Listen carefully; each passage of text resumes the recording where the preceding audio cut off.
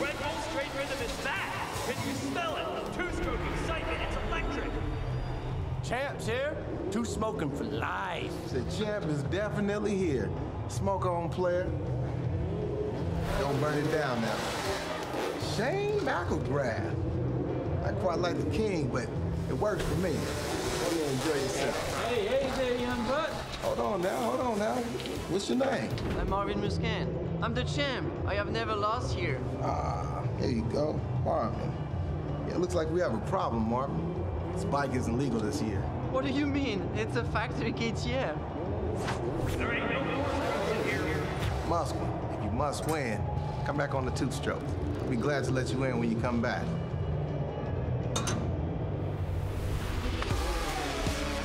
Welcome back to a magic night here at Straight Rhythm. The fans are loving it. Does it. And this could be it. Goes down and down hard.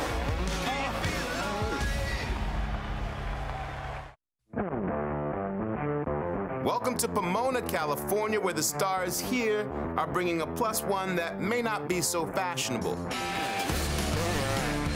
Machines from another era, no longer in the spotlight, they're welcome again here. An electric bike, determined to be the next big thing, is welcome here. Fancy Factory four strokes have been left at home. Two stroke power is the right mix to conquer this half mile long, straight rhythm track.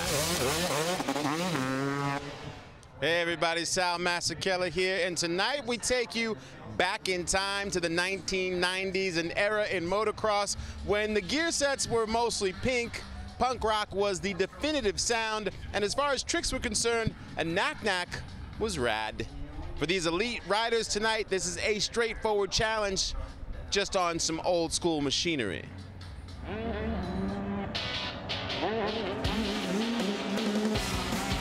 kind of scary on 125. You think you can go farther, you think you got more power, and then all of a sudden you hit the jump and you just don't go anywhere. Watching these guys try to get some of the rhythms down, it looks like Pourcel just busted it out. That was sick. He went double, double, triple.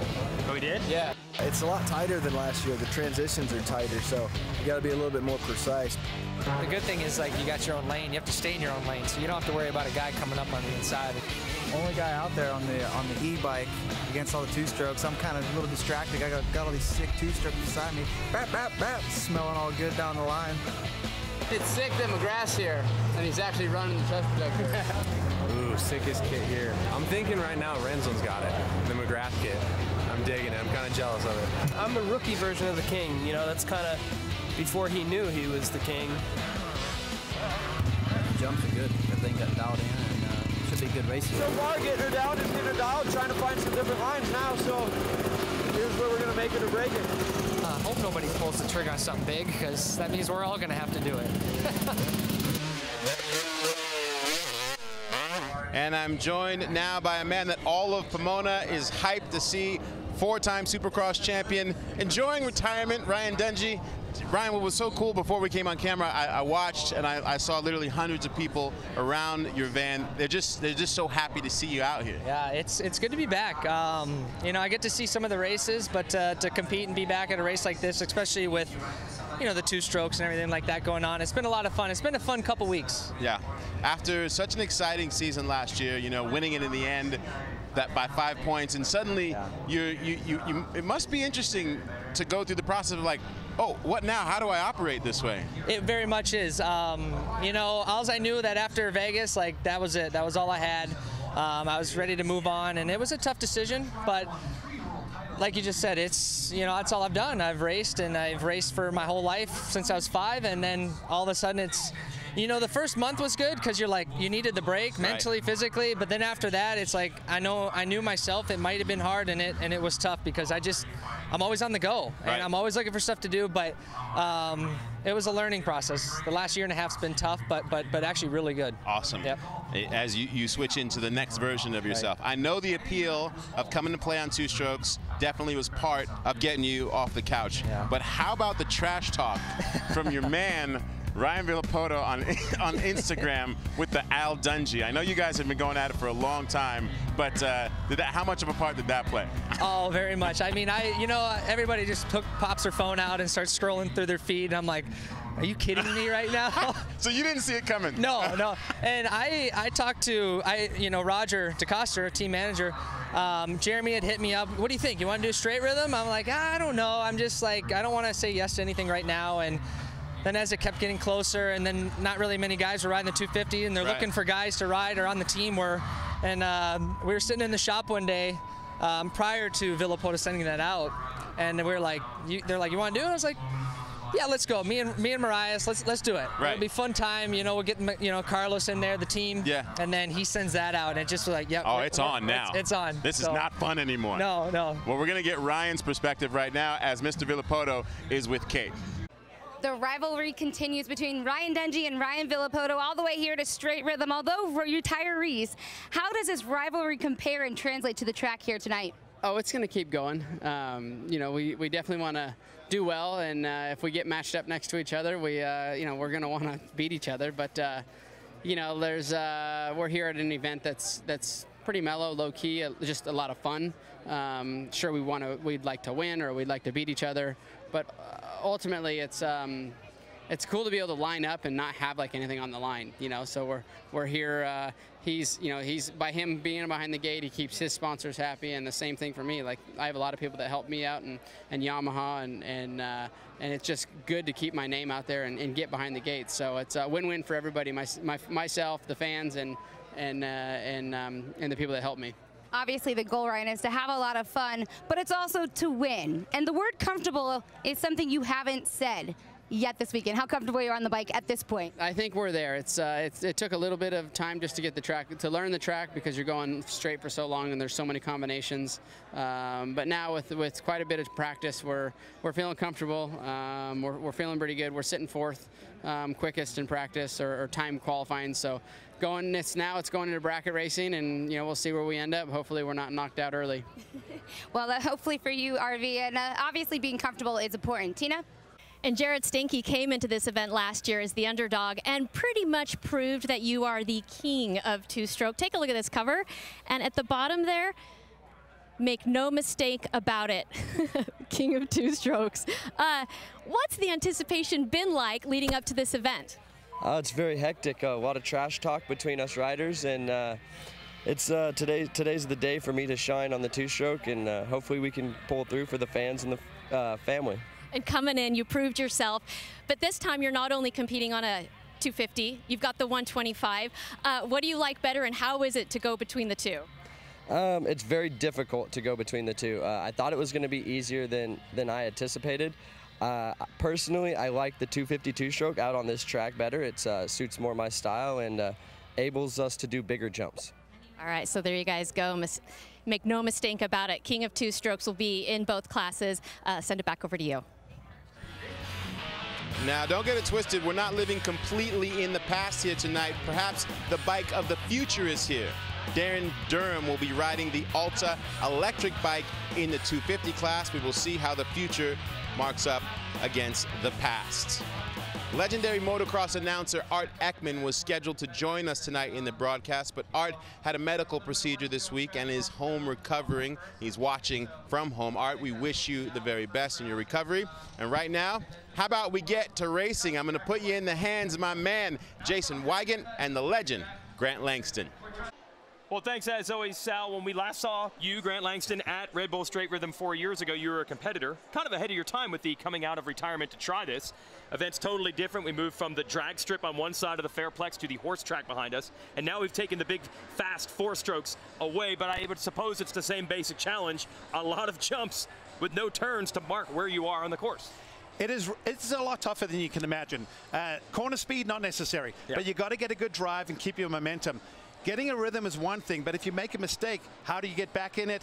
And the other big factor, a lot of these riders grew up on four strokes. Now we go back to two strokes. It changes the game a little bit.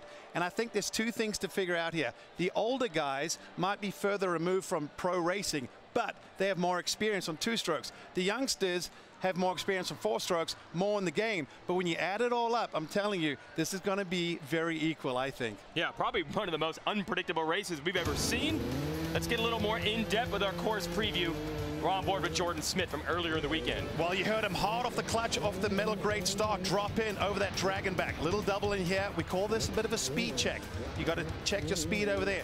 Then through this rhythm, we've seen riders doubling through there. But if you can go and triple, triple, it's a big gainer. Step up here, only one way to do it. Little double, multiple rhythms through here, but he got to get on and off those tabletops. You see Smith separating himself from his competitor when he got that clean. Another speed check double, triple over this midsection tunnel jump. Another little slow down jump. Once again, this is going to be another good opportunity to make a mistake or to gain some time. If you can get over these tabletop sections quick, one more speed check. Got to get clean through these whoops. Great drive through there to the finish line. Hopefully you get that checker flag first. And the event format, since it's all two strokes this year, 250 and 125 class, that's retro. We do have an electric bike that's entered in the 250cc division, the Alta. We have 16 riders in the 250 class, eight in the 125s. It's bracket style racing, so we'll go head to head throughout the night until we get to our finals and determine champions in both the 250 and 125 classes. Who would look good throughout qualifying and practice? Well, in that 125 class, which actually does allow up to 150, it's Carson Brown, relatively new to the pro ranks, but did do a lot of 125 racing as an amateur in what they call the schoolboy division, and the number 910 had the fastest time. Yeah, he looked good out there. And one thing about that 125, you got to carry momentum. Doubles become more difficult on these bikes, so you got to be precise. And Brown looked really good. Nailed the downsides, got the transitions clean, and you can see just stretch it away just a little bit. Okay, so the story right now, you look at Brown, he's a relative newcomer. Rensland's been around a while. He's on a really cool Jeremy McGrath look-alike bike. He's second quickest. But in the 250 class, if Carson Brown's the best of the 125, a young kid, opposite story in this division. Ryan Dungey He's raced Red Bull Straight Rhythm a few times, but he has never raced any event at all on a 252 stroke. Didn't look it. He was number one in qualifying. Well, Dungey, not that far off for retirement. I'm telling you, that helps a lot. That KTM was barking in uh, qualifying. He looked really good. And I think Ryan's missing this competitive nature. He looks like he wants this real bad. I'm just going to go down and say the Ryans really want to win tonight. and the other Ryan is in the mix. He was fast, uh, fourth quickest. Jordon Smith and Shane McElrath, who are current factory riders. They were second and third. There is the rest of your 250 field. A lot of big names in there. It's going to be exciting. So now we see who can step up in game time. We've had qualifying, we've had practice, we have our bracket set, but now the racing is going to count. Bracket style racing, we'll get through the left side of the bracket. You can see on the screen here, Ryan Dungey against the veteran Mike Brown first. We'll work our way through that group and then we'll go to the right side of the bracket. So Ryan Dungey, certainly one of the surprises to see him come out of retirement. He has not raced a race since announcing the end of his professional career last May. As for Mike Brown, uh, he will never retire, ever. One of your rivals from way back in the day. Mike Brown will race anytime, any place, anywhere, and he's facing off with the number three against Dungey, and Dungey out to the early lead. Yeah, this is going to be a tough one for Brownie. The guy's been around a long time, an absolute legend. He's been around so long that two strokes have become cool again. Yes. That's how long he's been around. Little mistake there from Brownie. You see Dunge off to a great start. Just a couple bike lengths. Brown is 47 years old and can still rip it, and he's keeping Dungey within sight. But man, to hear a factory prepared two-stroke like that again, that bike sounds great. Well, I think that factory two-stroke KTM sounds better than it ever has. You hear the crowd. It's the first time they're coming through. Dungey with the lead. Brownie still in there. That's the whoop section. Ah, just beautiful to hear the two strokes of the whoops. Dungey takes the win. Brown comes up behind him. And it is a best two out of three in Red Bull Straight Rhythm. So Brown will have another chance to come back and try to force a third race with Dungey. Next up, Cedric Soubeyras. That is the Frenchman. He is on a Suzuki. And he'll be going against Ryan Sipes. Sipes has become Mr. All-Arounder. He's won Supercross races. He's won motocross racers. He's won off-road races. He won a oh, flat yeah. track race this year. He can still get it done on a Supercross type track. Well, don't forget about Soubeyras, a, a, former French Supercross champion. He knows how to do it as well. This is going to be really interesting. All wheel spin from both riders. Sipes on the 264, the rider's right. Soubeyras in yellow. Little edge for Sipes, but he overjumped it. Soubeyras comes back. That's so hard to, to, at those speed checks to break without sliding up the face and overjumping it. See, once again, little step up. Oh, these guys are neck and neck. Oh, a little mistake from Sipes again. Soubeyras maybe a half a bike length lead. We're only halfway through the course right here. Yep, this is the halfway tunnel jump, as they call it, right here. This is where it gets interesting. If you make a mistake to this next rhythm, it could change things. Plus, the whoop section gets tough. Sipes does it different. They end up the same. Now it's close. Sipes is going to need the whoops to come back on Soubeyras. The Frenchman leads them to the checkered flag and takes the first round. Soubeyras kept a great run through the whoops there. Sipes thought he had a chance, got close, but Remember, it's two out of three, so Sipes will have another chance at Soubeyras. Our next bracket, it is Ryan Villopoto against Christophe Pourcel. This one goes way, way back. Oh, Pourcel, also a retired Frenchman. But going back about a dozen years ago, these two were considered maybe the future of the sport. Former teammates came down the championship. I remember in 2007, these guys hung it out every race for the end. I moved up to 450s. I was teammates with Villopoto. It's going to be interesting. Yep. Pourcel on 377, Villopoto on his customary number two, and it is wheel to wheel right now. Maybe a slight edge to Villopoto, but the crafty Frenchman is known for having tricks up his sleeve. Let's see if he can find one. This is where Pourcel struggled a little bit early in practice after this jump. Watch this rhythm. He was battling to get off this table right here. He gets it. That's important for him. He's still in the mix. This is going to be interesting. All right, so Pourcel has stepped up the game, but he's got to go even faster because Villopoto has about a bike length on him. He's giving him a heck of a run, though. Oh, you can hear the crowd coming in front of the crowd. It is so close. Oh, mistake. Oh, and Pourcel. Yeah, change the game for Pourcel. A mistake in the tabletops, and Villopoto's free to go and win it. Pourcel had it all the way till the end there. He pulled off the track. He's actually now pushing his bike. Oh, maybe there's a problem with the machine. Yeah, we can see it off camera. Sorry, folks, but we're just seeing Pourcel. You'll see it now. He's just pushing his bike. Let's see what happens to Pourcel here in the yellow gear. Well, was it a mistake? Was oh, Bike mechanical? Yes. That looked like a mechanical. You see the bike die there. I think you nailed it, Jason. Watch. Watch the bike just lose power right there. You see his head bob. It obviously had a bog or something.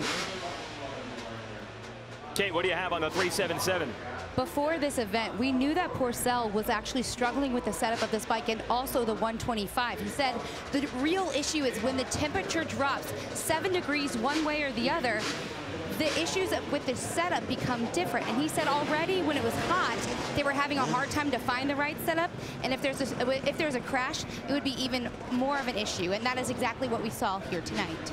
Yeah, you can expand on that, Grant. These two strokes, the old carburetors, they don't have electronic control, so when the temperature and the atmosphere changes, the bikes run a lot differently. Josh Grant, by the way, locked in against Kyle Partridge. Well, these bikes don't require jamming, and if you don't get it right, well, if you get it right, it's good, but when the temp drops more than seven degrees, guess what? You have those issues. JG off to a great start, just ahead of one of his buddies, Kyle Partridge. Partridge, another rider that is basically in retirement, but he has been very successful in this race in past years. And look, he wow. wrestles the lead away from Grant. But watch this. I'm telling you, Josh Grant has a secret weapon off the halfway point. Will he pull it out right now? We saw him in qualifying doing it. Watch. He might need it here because Partridge is holding him at bay. Yeah, it's right off this jump. Will he go double, triple, no. He didn't do it. No, he didn't. He stayed Partridge with the lead, and we're headed to the whoops. And Partridge is very good through there. He's one of the tallest riders in the field. Grant's going to try to hold it. Wheel to wheel. And I that think, was too close. Oh, man, I think Grant might have gotten him. He did by four hundredths. Partridge giving him all he can handle. Partridge has always been good at Red Bull straight rhythm. As I mentioned, he's one of the taller riders. He can use that leverage. And man, for Grant, who was pegged as maybe one of the favorites coming in here, that was a tough one. We mentioned Mike Brown. It's 49. My bad. I thought it's 47. Jeez. There are 14 riders in today's field who were not born when Brown turned pro in 1990. And the company Red Bull was only around three years when Brown turned pro. Yeah, I think it was a little mistake. The Brownie's not quite 49 yet. He's uh, uh, 47, but still looking healthy and strong, riding against the Dunge. Well, that's the only problem. He's really good, but he's going against the rider who's number one in qualifying. Who's, who's really, really good. Fresh of retirement. I think Dungey looks about as hungry as I've seen him in a long time. And I'm telling you, as a professional, even if I was still racing pro, I'd be like, I'm worried about this guy. He looks really good. I'm telling you, with that Red Bull factory KTM behind him, they've looked really strong. And he said Ryan Morris's secret weapon helped him test on this bike. Morris will be in competition as well on the other side of the 250 bracket. Wow, Dungey rolling through the rollers early on this track and getting an edge on Brown. Brown, he's still in it though. If Dunge makes a mistake, things can change. Dungey, very calculated, so you usually don't expect that. But when guys are trying to save a little bit of time, they make those mistakes. I think Dungey just knowing that he's probably got a little bit of speed over Mike Brown, he doesn't have to scrub everything looking clean. But you got to say, for Mike Brown, in his late 40s, no matter what his age is, let's just say in his late 40s, this is phenomenal what the guy's still doing. Hanging with Ryan Dungey, but not quite enough. Dungey wins his second runoff with Brown, and he will advance to the next round of competition. Brown is eliminated. Just another in a long, long line of events that Mike Brown has entered and put in a good, strong showing. Now we go back to Sykes Impressive. versus Soubeyras. Oh, oh, another fun one. This one's great. This Soubeyras th- the these run. are veterans in, the, in both terms, different sides of the Atlantic. Soubeyras, a Frenchman, strong, uh, had good results in Supercross over there, former Supercross champion. Ryan Sipes, as you mentioned earlier, nowadays he's kind of Mr. All-Round. If it's got a throttle and two wheels, it's probably going to do well. Sipes was quick, but Soubeyras, about a third into the track, was able to get the edge on him. Sipes made two minor mistakes, and he could not make up for it. So Soubeyras, if he wins this one, will eliminate Sipes 2 to nothing. Sipes has to win this, or he's out of Red Bull Straight Rhythm here in the 250 class. I can hear my Kentucky fans out there getting fired up right now mm-hmm. for their boy. Come on, Sipes. We're rooting for Soubeyras as well, but we want to see these two vets keep. We want to see a third round, right? Oh, yeah. Oh, smoke smoking the tire. Yeah, Sipes really hard out of the hole, but Soubeyras comes right back. Side by side, it hit the first speed check, and now the first really difficult rhythm lane. Sipes looks clean through there. Yeah, double, triple, triple for both of them. Double out. Another little step up. Got to land. This is where it's important on these bikes. Soak it up on the table. On, on, off. Keeping the drive going forward. Soubeyras, you saw him do a little wheel tap. This is so close. Little edge to the Frenchman right now. Sipes trying to come back, and he does. A nice scrub by Sipes. He scrubbed that really good. Now they're almost side by side. Soubeyras maybe with a half bike length lead, but Sipes He's can he show send it here. his will in the in the whoops? Here He's it got to make it happen. Sipes running out of time in real estate. It's over. Soubeyras takes it. Two close runs, and you can see the emotion. The 201 pumped. He he knew that was that was a tough one. It's not going to get any easier as we're going to have a look at. This is where it gets interesting. Coming up, see there, Sipes just came up a little short on that jump. I think he got too hard on the brakes. He's half a bike length behind. Then they come over this one more speed check. He had to nail these whoops, but Soubeyras was just as good. See that? Neck and neck. Nothing changed. Two to nothing, eliminates Sipes, who is actually the fastest rider in qualifying on a two-stroke at this race last year. And I think we can see how much everyone has stepped up their two-stroke game. Now they've had a year to study it and think about it. And that includes Ryan Villopoto here. Not afraid to boast. He put it out on Instagram. He said, I think my bike looks and performs better than the one I was on last year. And Oh, he's we're going to put that thing to the test. He's on a Yamaha, and, and, and Yamaha made bikes further into the future than uh, the Kawasaki. So They still continue to produce a YZ250 exactly, two-stroke, yes. which means development continues. Now we wait on Pourcel, who we saw had the bike problem and head back to the pit area when he did not complete the run against Villopoto. I don't know if the 377 is going to be able to compete in this one. If that is the case, they'll make Villopoto do the run anyway to officially move into the next round. And then it'll be Grant and Partridge who are the closest race of early stages of competition up after this. And yes, it appears to be a solo run for Villopoto. So scratch Pourcel from competition in the 250 class. He is also entered on the 125. Well, I thought RV was going to have a little parade lap or another practice lap, but uh, he's sending a message right Yeah. now. He's like, I would have won this either way. Gotta love it. Love seeing the riders when they say that they get a little burnt out in professional motocross racing, and then a year or two later they're like, I just love coming out and riding a bike in front of the fans. So This is what he's doing. RV just having a great time. That bike and setup is on point. The crowd loving it. And they're going to get more of it because Pourcel is out and officially going to the next round is Villopoto, and Kate has A Christoph disappointing Pourcel. round for Christophe Pourcel. But you know what? The good news is, is you figured a few things out, but you have another run to go. What actually happened in that heat? Yeah, I mean, uh, the bike, uh, we struggled all day, but we finally got a good setup on the qualifying, so I felt pretty good. And uh, we had some bugging on the bike, and we fixed that. But uh, then I was riding with RV, and uh, we had a good battle. Uh, I felt very, very comfortable, and uh, you know, it's good to race uh, against RV again. We, we raced 10 years ago, so I felt felt very good. But the bike at the end of the the straight, it kind of it seized, so it, everything was blocked off in the in the motor, and we broke the motor, so we're done for the night. And what does that mindset do for you now that you have to get back on the bike for 125? Uh, 125 is a two-stroke again, so you know we've been playing with jetting and all the all the stuff in the cob. So hopefully the bike should be good. I'm just a little scared that I don't want to break another motor. I, I got lucky on this one. I almost crashed, and uh, and I'm fine. So as long as I'm okay and I'm healthy, it's, it's good. But uh, yeah, I, I'd like to do good on the 125. I'll try my best, and hopefully everything goes well. We're glad you're okay for sure. Gentlemen, how difficult is it for these riders having to get back on that bike? My goodness. Well, if you're going to ask me, I'm going to tell you I think it's it, it's pretty difficult because just like Pourcel said, things can happen. Uh, Jetting's wrong bike seizures. Luckily, it didn't happen at the worst time. Now we're back. JG and Partridge, two very talented riders. And Partridge in the 144 led the majority of the first race between them. It was only at the very final stretch of the whoops that Grant was able to pull it out. Little edge for the 33 of Grant right now. Yeah, he's got a little bit over Partridge, but let's remember, we've seen the left lane, most of the riders choosing that in practice, so we feel like that's their most comfortable lane. Look at Partridge. He was a little further behind. Now he's right in the mix. Might need a mistake from Grant to get close enough to go ahead of him, though. Here we go. This rhythm lane is where Grant has something he can use if he needs it. Doesn't need it right now because he has the lead over Partridge. Final speed check. Cheers from the crowd.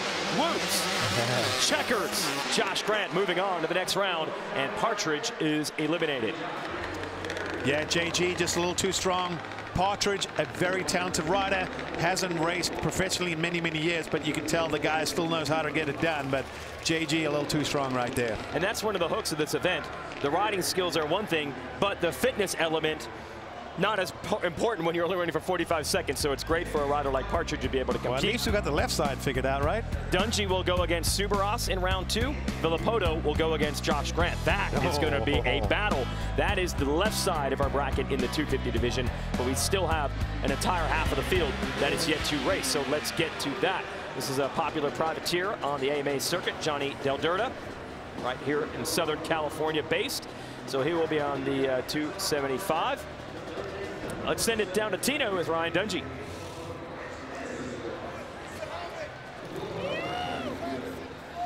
Angie has never raced a 252 stroke before tonight, but you don't look like it at all. Uh, how long did it take you to figure out this track?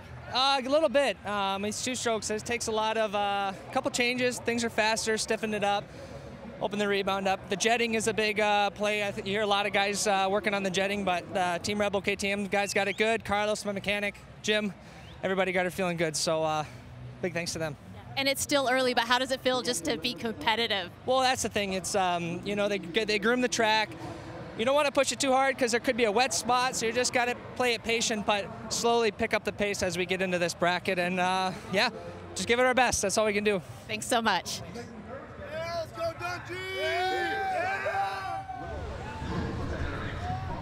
Thank you, Tina. As the sun sets here in Pomona, I am joined by the one and only, the legend, Ronnie Mac. Thank you for stopping by, sir. I know that your your right hand has been cramping from just signing autographs all day. What's it like when Ronnie Mac comes to Pomona to the Fairplex and the fans, they just come for you?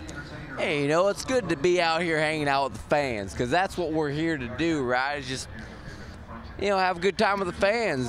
Do the things we want to do as a racer and just impress them. But at the end of the day, I'm a little bit upset about True. how the racing has gone because at the end of the day, I didn't know qualifying and practice was the same thing. and I mean, to be honest, I was the odds-on fastest guy last year. Right. You know, if it wasn't for you know a little bit of mistake and it wasn't even my fault. True. I would have won the whole thing. True. And that's the whole thing that makes me upset is the simple fact that I thought I was seated in. So practice, you know, practice is for girls. At the end of the day, like nobody wants to go out there and practice. Prac- I- I'm a racer. Right. and you know, I didn't go out there and for practice, so they didn't let me race. All right, well, you heard it first. Ronnie Mac doesn't believe in practice. We'll get back to race and check back in with Ronnie later on. I I think I'm the luckiest man here. Yeah, I almost fear we'll see if we check in with Ronnie a little bit later on. Always keeps us guessing. So we'll go to the next part of the bracket. It will not include Ronnie Mac, who is not competing tonight. He saw Johnny Del Derta in the gate. Now he's being met up with Jordon Smith, who will be on the number 28, second fastest in qualifying in the 250 division. So there is Smith.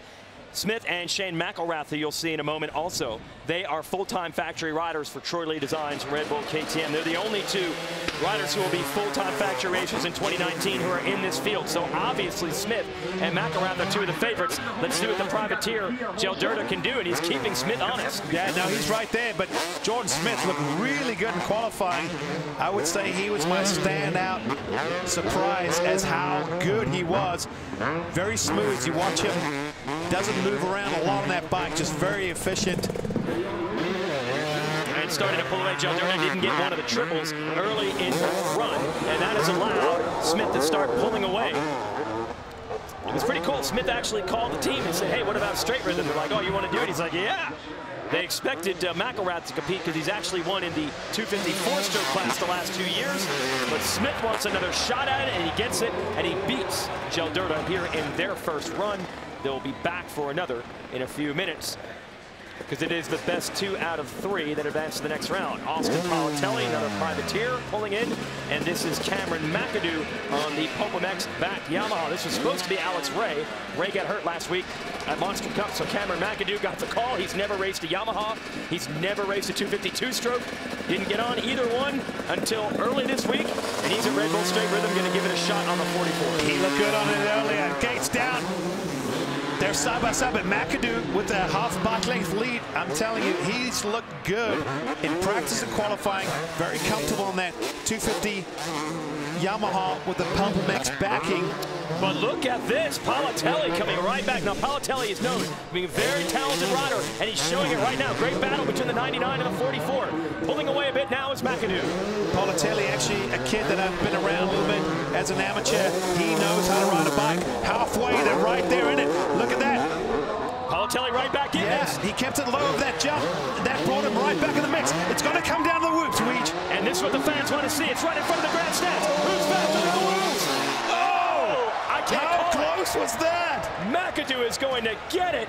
Absolute showdown right to the line. It came down to three hundredths of a second. Well, we're up here in the booth. We can almost see the naked line. I mean, the, you know, with our naked eye, the finish line, and that was so close. Watch this. Politelli just comes back right at the Yeah. end. Yes, McAdoo had a little gap going into the whoops, but Oh, he got it. So McAdoo is going to get it by the slimmest of margins. They will race again. I because love the sound of this electric bike. What it sound? sounds so good. What sound? So Yeah, yes, exactly. the one no stroke in the field against the two stroke. Darryn Durham on the Alta Redshift against McElrath. Now, by the way, there was some news this week that Alta has at least come to a hiatus as far as producing motorcycles. They might be back as a company, but right now we're not sure what the future of that company is. But I talked to Durham. He had a bike and parts ready. They said, yeah, you can keep racing. So let's see how the electric bike does against McElrath, who has always been strong at this event, but normally in past years on a 250 four-stroke, now on a 250 two-stroke. It is quite remarkable if you're here in person because you hear the one bike, it sounds amazing, and then you literally do not hear the other bike. It just looks like someone's freewheeling their way over all these jumps. But it's trippy the first time you hear it, but it is quite remarkable. You got to remember the electric bike, no gears, no clutch. I have ridden one. It, it, it really changes how you ride a bike. But look at McElrath. McElrath got a little bit close to the white line. And that would be an instant loss of the round, so they got to be careful. Don't hit the white line in the middle. But he does hold off Durham, who will be back in the next one. Now here is your defending champ. Yes, make no mistake about it. Stank Dog Gared Steinke won this in the two-stroke class last year. He has to go against Ryan Morais, former pro racer, now a full-time development rider with KTM. Morais did race this event last year. And Morais is no slouch off the couch. Trust me on that one. Stank Dog is a legend in it. He's got a huge fan following. This is going to be interesting. Off the couch off the two-stroke.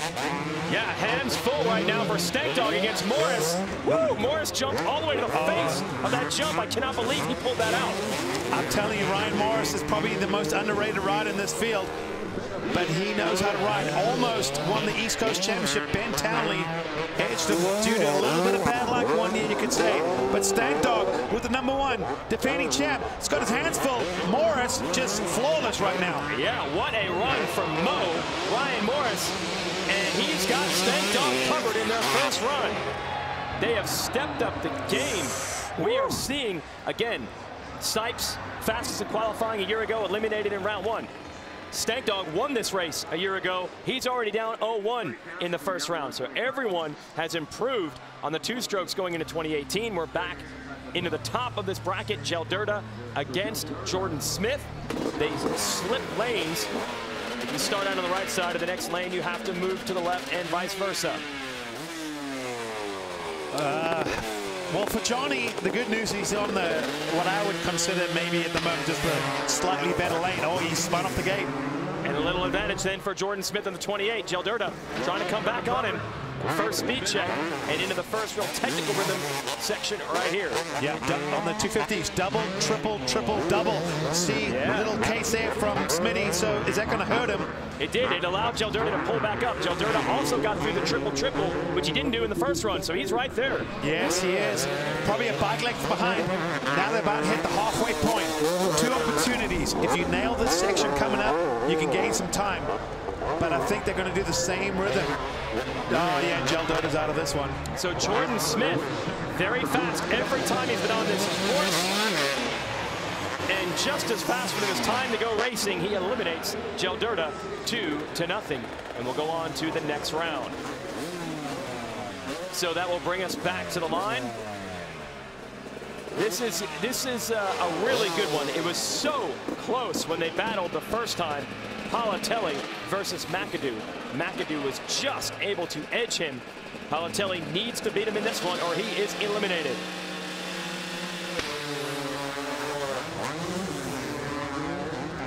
McAdoo lightning quick through the first couple of jumps and builds an early lead. Uh, he's got it over Politelli at the moment, but it's still too close to call this early in the race. One little bobble will change things. Whoa. Oh, Politelli missed that triple. That really hurt him as well. He's going to really, he needs McAdoo to make a big mistake in order to get back in this one. Well, McAdoo made one, but not nearly as big as the one Politelli had. So it's a good lead for the 44 right now. At the halfway point. Just don't mess this section up. You can see McAdoo, very cool, calm and collected. He, he's looked good on that bike. For a youngster, I'm very impressed, and he gets it done. McAdoo eliminates Politelli. Politelli made it awfully close the first time they raced. McAdoo a little bit stronger this time. Okay, we've been talking about that Made in America Alta electric bike. Kate with an update on Darryn Durham. Darryn Durham uh, right now 1-0 here this evening, although he is on that electric bike, and he said it took him a while to get used to not having a clutch or shifter. We talked about the advantages and disadvantages on that electric bike. He said, well, of course, the two strokes technically, technically make more power, but I don't have to shift. Either way, I haven't ridden a bike much at all lately, so I'm sure right now he's feeling with one under his belt. Got to be a happy man. Yeah, he kept it interesting, no doubt about it. Durham against Shane McElrath, who has won this race several times in our 254-stroke class. So he is unfortunately up against one of the big hitters. Let's see how he can do. The Alta motorcycle made in the United States. It's a Silicon Valley startup, essentially. They got into motorcycles. Why? Because they believe this is the best proving ground for electric technology anywhere. And it's up to Durham to try to take down the two-stroke. Well, you got to give them some credit. I mean, it's quite remarkable without gears or a clutch that they can be as competitive, well, should I say, nearly as competitive as the top guys. Durham, ton of talent. You see Josh Hill ride that bike well. And I'm telling you, it takes a special rider to ride a bike like that as fast as they are. But when you come against McElrath, I feel like he's right in his wheelhouse right now. Yeah, McElrath, the guy who's won almost half a dozen 250 Supercross races over the last two years.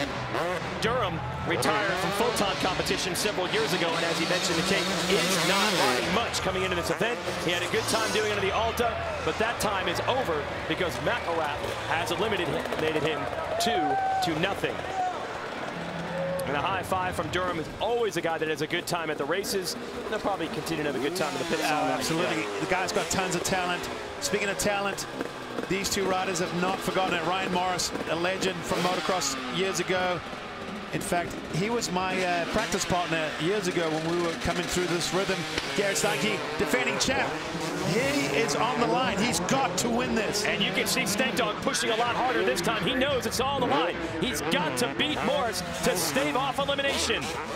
No champ ever wants to go out in the first round, and that's what he's facing right now. Stank. Nice job. Stank got the wheels down to the ground at the top of that jump. Uh, we approach the halfway point. This is where it gets interesting. They're close. Little check here. They're going to go over a little double, triple step up. They're going to whip it out for the fans. Oh.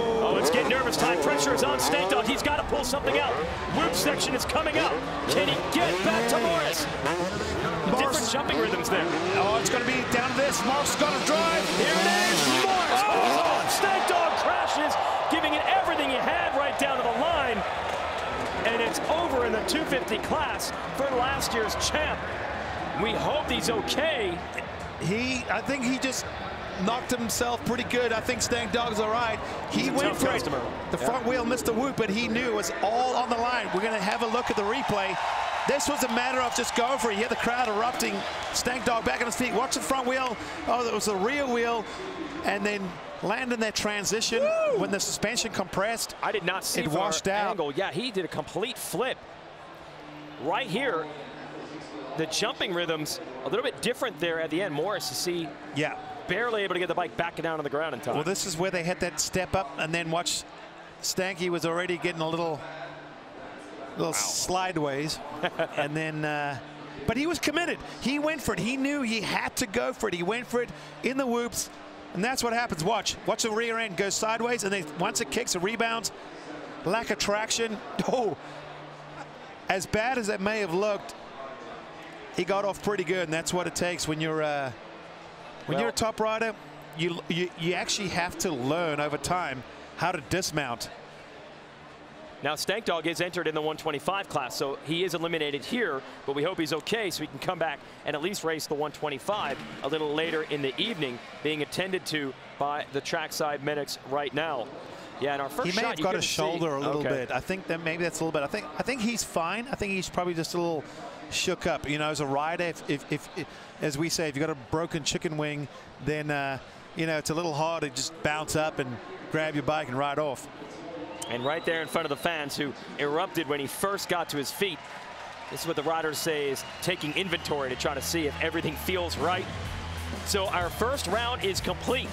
We'll have Ryan Dungey against Cedric Soubeyras, Ryan Villopoto against Josh Grant in round two, Jordon Smith against McAdoo, McElrath against Morais. Let's send it down to Tina. And Jordon Smith is no stranger to Red Bull straight rhythm. You couldn't compete last year because of an injury. What's it like to be back now and also on a two-stroke? Yeah, it's uh, it's a lot of fun. Uh, Troy got us this uh, sweet one one-off gear, painted us up some really cool helmets, brought back the fin like the 90s, and even got the, the little jingle balls here like like the King used to have. So it's pretty cool and it's a fun fun atmosphere for sure. Yeah, and that's been part of the fun is like seeing all the retro come back. Uh, what's your take on that? Yeah, it's uh, it's really cool. You know, I didn't really grow up in the, the two-stroke era. Like I was never at the races that much during that era. So uh, it's pretty cool to kind of get a, a little flashback and see what it was all about. Yeah, that's part of the fun, guys. Yeah, it's uh, a guy born in 1996, so yeah, he's actually younger than a lot of the trends that we're talking about here. There is Stank taking a ride. We'll see if he's okay and if he can return for the 125 class. It'll be coming up here on Red Bull TV. It's Straight Rhythm from Pomona, California.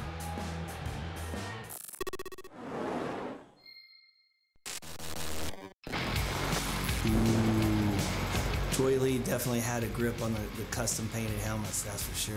The 90s, it was custom through and through. I could never afford a custom painted helmet. That's how you identified your personality. You know, you think of McGrath because he had the best of what Troy Lee could could paint up. He just he let me always push the envelope. I'd tell him I want to do ten things to it, and he's like, "Man, go for it." But I remember thinking it'd gone too far when Jeremy McGrath showed up at Anaheim wearing a lampshade. Hmm. So like for 10 or 11 years straight, I wore a brand new helmet at, at Anaheim with a crazy idea on it, $100 bills. It was like it had tassels around it. Dingleberries, fins. But you know, he's Jeremy McGrath. He could get away with anything. It's been fun looking at these pieces, remembering what motocross culture was like in the 90s. Right there talking about the extravagance of the helmets. Mike Brown, you won your first race in 1994. No doubt you remember uh, the culture and, and, and something like helmets Oh, well. sure. Back like they were talking about earlier, everybody had painted helmets on. You recognize the people by what their helmet style was, and uh, that was a big deal back then. Now it's everybody wants you to wear the corporate helmet, and it's a lot different now. So uh, bringing this back, this race brings back a lot of memories. You know, like you say, the helmets, the smell of the gas, the whole thing is uh, a good good time. How was it for you? Now you got a, a, really tough draw in, in getting Dungey off the couch, but regardless, that was a strong strong race. You were right there. Yeah, it was good. You know, I've been in today. It was you go up against him. Anybody, you put anybody up against him, it's going to be a tough, tough battle for him. But uh, it was good to be with him. You know, he's retired now, and I am too. I still do it here and there like he does, but it was tough. You know, like I struggled a lot today with my bike setup, just getting it uh, jetting right. But still, it's uh, it was an honor to be out there with him on the same track and uh, to be here at 46 years of age.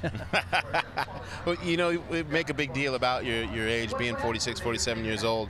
What is it that still motivates you when you get the opportunity to come out against these kids? What is it about this sport that still keeps you young and wanting to be out there and uh, see what you got? I think is where I keep riding and keep involved in the sport, keep trying to change my style to the young kids, and uh, just riding and keeping the training up and being out on the track. You know, a lot of these guys that retire, like Dungey, he still was training and riding here and there, but you don't lose it that quick. It's just, you know, the training side of it's what you lose, lose the worst. So it's, uh, for me, I've just kept at it from day one when I stopped doing all the series, and uh, I think that's the main thing. Just don't stop cold turkey and Yeah. just keep at it. And you can apply that to life. Inspired by your quarterfinal performance last year, inspired tonight. Great to have you stop by. We're going to go to Kate right now, Thanks. who's with AJ and Renzland. AJ was saying that he's basically scared the whole time he's out there, but there's one section that he found today that other riders are doing, and you're really having to focus on it. Talk us through that. Yeah, I was super confident on the whole track, um, and they actually jumped it with two laps to go in practice, and I didn't see it.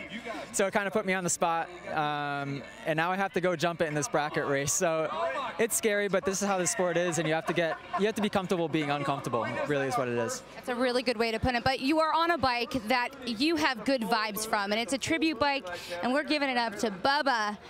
This is one that is so special. If we take a look at the bike and getting nitty gritty, why do you feel confident on a bike like this, even though it's a 125? I grew up on Kawasaki's my whole life, and even though it's a 2004, it's 14 years old, which is crazy to say.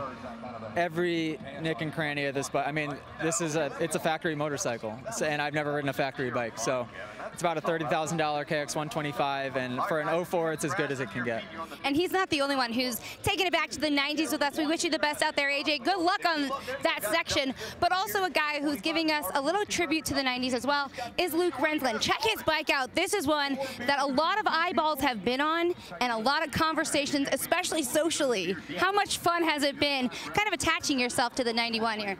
Uh, it's been awesome. Uh, it was a lot of work, I'll be honest, to uh, get the bike, gear, the helmet, everything put together. But um, and also to get everything transported 2,500 miles. But it's uh, it's been well worth the the effort just to see everyone enjoy it. Um, you know, I, have heard from a million people just flashbacks back to 1991. So it's cool to uh, give a little something back to the king and uh, give something back to the uh, the original fans of moto. So uh, gonna try to go out there, put in a solid result, and uh, you know, do it like the king would do it. do it like the king would do it. Jason, I think a lot of these guys out here would like to do it like the king would do it, huh? Well, the guy wrenching on that bike would know. The mechanic for Jeremy McGrath in 1991 is the mechanic for Luke Renzland tonight, our buddy Skip Norfolk. So that is an awesome connection to back in the day. Let's just update you. This is our bracket now as we move to the 125 class. Carson Brown will be our top qualifier. He will go against Colton Eck. Chase Marquier against Pourcel, who's back on his 125 now.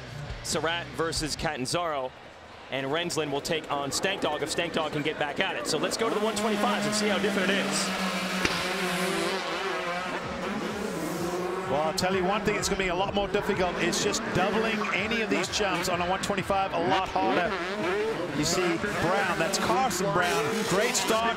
Oh, he triple triples. Wow. Look at the difference that makes on these 125s. That's like five bike lengths worth. That's difficult. We did not see anyone really do that very consistently. I think Renzland hit it a few times in practice, but Brown showing why. He was the fastest in qualifying, uncorking the two triples early in the run and pulling away Eck on a 2003 Honda CR125, but he's got to make up some ground quickly. Yeah, well, a little mistake there. That, that could be his opening. Yep. Oh, don't cross the line. That was close, but I think... Yeah, he's going to hold on, GL. He's got it. Well, it wasn't a question of was he going to actually win. It's like you said, if you cross that solid white line, it really changes things. And uh, you know, someone asked earlier why I wasn't out there racing against Mike Brown, who's a lot older, still doing it. I said they put a white line, so I can't even cross over and bang bars if I wanted to. So what's the point? yeah, we can't have you and Brown on a track if you can't touch each other. That just wouldn't be right. So now it's Marquier against Pourcel. We told the story earlier. Pourcel had bike problems on his 250, was out early. But now he's back on the 125. Well, I'm sure for some of the old school, meaning people that have watched Supercross for over 10 years, I'm sure there's a part of them would like to see the crafty Frenchman progress. Christophe Pourcel, tons of talent, doesn't race professionally anymore, lives in France, does a lot of testing for the GP teams, so he still rides Moto and Supercross. This is close. Rides well enough to actually take the lead back from Marquier, who had the edge earlier. Marquier out of Oklahoma, trying to come back. Was a massive scrap for Pourcel. You see them they came up a little short there. Now side by side. Marquier got over that table. That'll give him a little advantage. Two different jump rhythms. So Marquier out front. It's going to come down the woods. Yeah, he's going to have to make a big run, GL. No. Marquier's got him. that was interesting. I thought Pourcel could have got the drive down that last speed check and carried that momentum through the woods. He may have got it, but wow, what a great race. That was a good back and forth battle. Yeah, they really exchanged it three or four times. He was leading. There's a little mistake from Pourcel. That was that was good there, but he lost a little drive, and that's when Marquier came up, and this way got interesting. Yeah, set of tabletops here. There, he scrubbed that really good. Pourcel not quite as clean.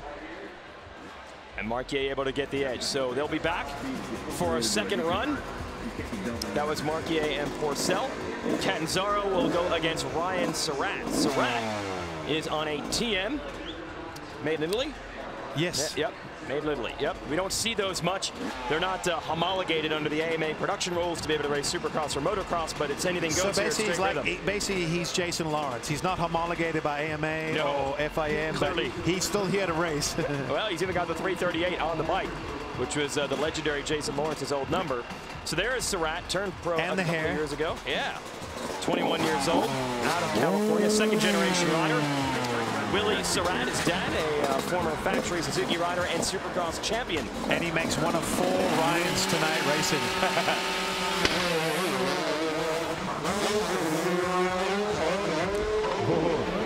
know it's A.J. Catanzaro, but boy, does that look like a dead ringer for James Bubba Stewart. I was about to say, Stewie with the whole shot. James Bubba Stewart. Now I'm kidding. The double, triple, triple, triple. He nailed it. it works. He got both of them. So Catanzaro the, with a bit of an edge. But Surratt right there with him, even though AJ was flawless in that first section. Surratt looks good. He scrubbed that jump. Isn't out. So halfway through, edge to Canzaro, but here comes Surratt with the scrubbing, coming back on it. That was beautiful from Surratt there. He brought himself right in the mix. Look at this, on off. They're going to come. One more speed check. It's into the whoops. Side by side of the whoops. Who's got the speed to take it? It's going to be Surratt, I believe. Canzaro got right on the back fender to try to find a little extra traction, but Surratt gets it by five tenths of a second. Catanzaro had the lead for the majority of that run. Oh, once again, it's one of those races where you think, okay, it's looking good, I got it, and then uh, it, it, just changed halfway through. Surratt never gave up. He was in there. AJ probably a little bit shocked. He, he's been strong all day long, and you see the crowd right when they come to the end, you could hear them Look at AJ off that back Look fender at the doing rear everything wheel. he can. He yeah. wheelied up to that finish line. I mean, I'd love to actually know exactly. I mean, they put the transponder pretty much behind the handlebar by the triple clamp. But Mhm. between the wheelies and the way they do it, I kid That's you true. not, it, it, I think it affects the finish line time by a hundredth or a thousandth every now and then. I would not be surprised. Yeah, I mean, we're seeing, I think, four different runs so far come down to hundredths of a second. Our next race will be Stank Dog, if he's able to get going, against Luke Renzland. But remember, Stank Dog had that big crash at the end of his 250 round. Well, while we wait for Stank Dog to show up, there's one thing I want to mention that's critical on this track. Jumping triples and doubles are important, but staying low is crucial. Here's a good shot of Smitty, Jordon Smith. You see what he's doing right there, turning the handlebars. That's not for show or a turn down. What these guys are doing is when they hit a jump, you got to remember, I can't use my hands on TV right now because you can't see them. But when the suspension compresses, it wants to rebound, meaning like a pogo stick, it wants to shoot you back up towards the moon or the sun. But when you turn down the bike, the suspension dissipates to the side. In other words, it doesn't shove you up, it leaves you so you're good. But right now, we're just getting word that our defending champion, Gared Steinke, is out for this event, Jason Weigandt. Yeah, so it's going to be Chance Fullerton taking his place. And remember, this is the crash from about 10 minutes earlier. Stanky on the number one. Yeah, he just got through the whoops. He went for it. It- uh, just what you expect from Gared Steinke, going for it. He went down. You can tell a little shook up. Looks like he, he I think he hurt his shoulder when he went down. He saw it hit the ground. And a lot of these riders are carrying injuries, so good chance for Chance Fullerton to get in. Off-road rider, awesome to see him on the beta representing, like we said, riders from all walks of life. Yes, an off-road rider and a brand of bike, the Beta, that is more based on off-road type riding. Their real specialty is trials bikes. But he's you coming against- racer. Yo, the awesome. No one's going to beat the 91 McGrath, are they? Or are they? It's the King's bike. Let's see what Fullerton can do. He's in the red gear. The blue and white machine is Luke Renzland. Renzland, a veteran of motocross and supercross, had a top three finish, a podium this year at Indianapolis. So he knows how to ride, and he's making that 125, 125 look good. Well, when you go double, triple, triple through that rhythm on a 125, that is really going to set you apart. Like that double and that jump right there on a 125, they're not really rolling off. They're hitting it wide open.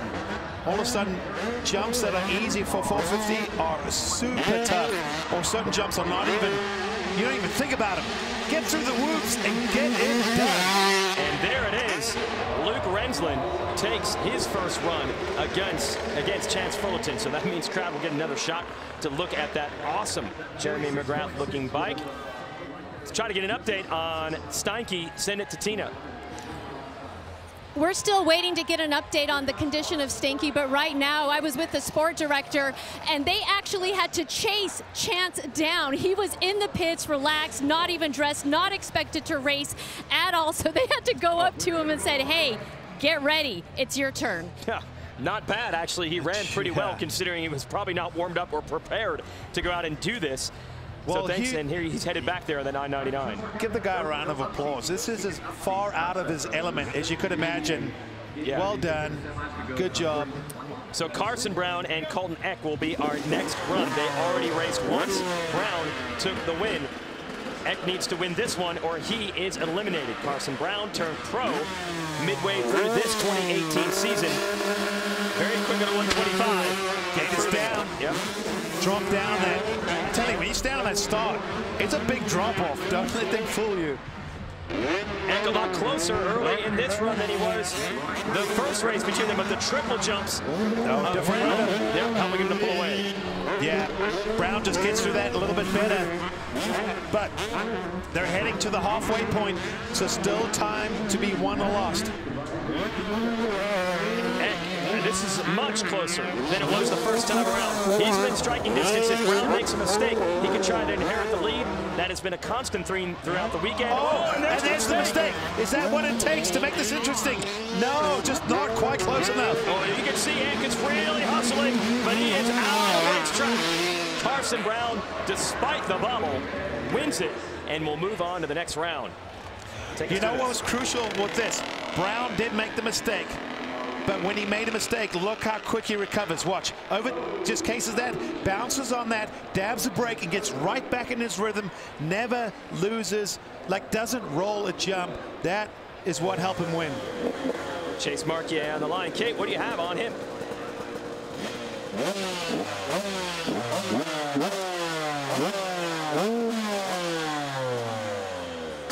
He did say that he thinks it fits his riding style as it's light and you can throw it around and he really likes to ride loose, especially when he's having fun. And we'll see how much fun he's having in this one. Had to go against Pourcel and did beat him in the first run. Pourcel is back. Pourcel has to win it or he will be eliminated by Marquier. Marquier riding for the JMC Motorsports squad. That is a Husqvarna team. Husqvarna still makes 125 two-stroke, so it wasn't hard to source a bike there. All right.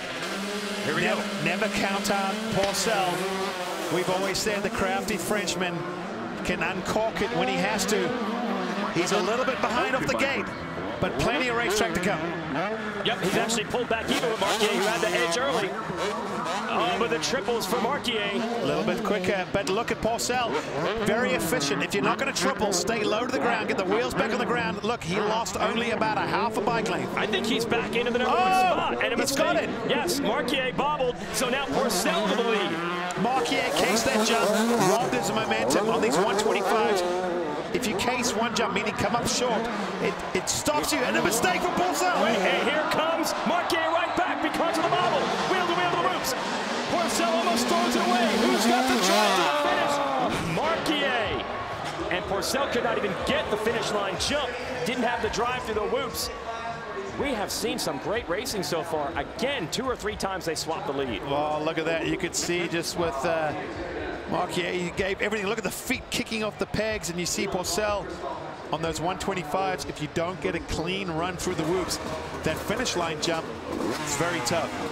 So Catanzaro against Surratt. Surratt was able to edge him just barely five hundredths of a second to win the first run. Catanzaro on that beautiful Kawasaki. It's a great story of someone who uh, spent yeah, $30,000 that they mentioned on that bike. Guy by the name of Spencer who builds a lot of these cool things. Rack Racing is the backer for Catanzaro. The TM, the blue motorcycle for Surratt. This is like a Stu and J-Law little battle right here but with the modernized guys. This is going to be fun. Look at this. Catanzaro, triple, triple. Just a couple bike lengths over Surratt, who was strong. Different rhythm through there. Let's see how it figures out. Catanzaro is going to lead them through the first half. But Surratt did his damage in the second half of the run the first time. Can he do it again? He is starting to close. Yeah, this is interesting. Like you said, the left lane at times have proven a little bit better. But Catanzaro, flawless. Surratt just a little too far back, I think. He's going to need a James Stewart run through the whoops to hold him off, and he gets it. Catanzaro shakes his head. He knows he was a couple hundredths of a second away from moving into the second round, but instead we are going to have a third race between them. Surratt takes the first one. Catanzaro takes the second, which means they've got to race again. Fullerton back to the line on the beta, the off-road rider against that beautiful, it's actually a Yamaha. Now, McGrath rode a Honda back in the day, but because they were sponsored by Peak Antifreeze, they made the Hondas blue. So the easiest way to replicate that is to start with a blue Yamaha. Even that Renzon's patch on the back, says MC2, the king. A lot of wheel spin on it. A lot of clutch slip, trying to prevent wheel spin, but still a little from both riders, especially from Fullerton. But Fullerton's much improved on this run, though. He's improved throughout the weekend. Big hats off to this guy. He's probably stepped really far out of his comfort zone. So you got to admire for an off-road guy going through one of the most technical supercrossy style sections with a supercross legend replica in front of him. Still intimidating. Yeah, hard to say you can beat Jeremy McGrath. It sure looks like that's who he's racing. And Luke Renzland soaking in the support from the fans who love the look and appreciate the riding. Renzland is moving on to the second round. Fullerton, who already thought his day was over, get back on the motorcycle and got to the line. Well, he had a chance. Yeah, it was cool to get him back in. Unfortunately, with the injury to Stank Dog. And we have our first third race in this event because it was close between Surratt and Catanzaro. In both races, each has won one. They've got to do it again. Oh, I love tiebreakers. I know that we say all along that this race is just fun. There's not a whole lot on the line. It's just a good, fun day on the dirt bike. But this has got to be extreme pressure right now. This is like uh, you got to hit clutch free throws or field goal. You make one mistake now, it is over. Well, you said exactly that. I mean, it really is. It's it's it's go for broke. Riders know how it works. They got to go for it. But uh, who knows? We saw what happened with Stank Dog. Tina, what are you hearing? Yeah, well, I was walking back to the Stinky camp just to see uh, what was going on. You know, everyone over there was pretty disappointed. Uh, he was walking around. Uh, and I'm being told that he's going to the hospital to get checked out. That's all I'm being told at this point. If I get anything more, I will let you know. Um, but, you know, we saw him pushing so hard and he was ready to defend that title. Yeah, that is unfortunate. Uh, Stank entered in both classes, the crash in the 250 class. He's eliminated there, and then the injury prevents him from racing in the 125. So it is a whole new ball game this year. Ronnie Mac didn't show up for practice, he says, so he wasn't allowed to race. Stank Dog out. Those were the finalists in the two-stroke division a year ago. So things have changed. It's both devolved in a way because we're back on old school bikes, but it is evolved as far as how fast everyone is on them. So here it is, your battle. Catanzaro in green, Surratt in blue. This is for all the marbles you can see from both the riders. They're pushing hard. It's going to come down to who can be the cleanest. Look, AJ, triple, triple. That's a big help. Look, gets him just ahead. He went from just behind to just ahead. But he had a massive lead through that section in the first two races, and he didn't even win one of them. So this could be advantage Surratt, who has been very strong in the second half of the course. Can Catanzaro pick up on what Surratt was doing right? So far, the 338 pulling ahead. Surratt with a look over. That was very, oh, oh mistake. Is that, that's it. Catanzaro's got it. He cannot blow it. Yeah, he's got to be perfect now to the line. Surratt's going to keep on digging. But AJ Catanzaro and the James Stewart look-alike 259 Kawasaki is going to the next round. And Surratt, it came down to this. Oh, here we go. Yeah, the oh, sprinkler. Classic James Stewart victory celebration. But don't harm that beautiful motorcycle that Spencer put together. Oh, what a sprinkler right there, just watering the track. Here's Surratt. This is the decider. He got the lead, actually. Yeah, yeah, he gives a little look over, a little confidence, but then watch. This is when it gets a little, little squirrely. Watch, clip, and they cannot get through the rhythm. And that's what I've been saying all night long. It's so easy to make a mistake on a two-stroke, and they'll. Did you see me coming? Get that grass green, folks. All right. Well, James Stewart, we saw some of the best of the 2000 two-stroke era, but really tonight is a big celebration of the 90s. We've been rolling out these 90s were cooler features all night long. Here's another on kidney belts.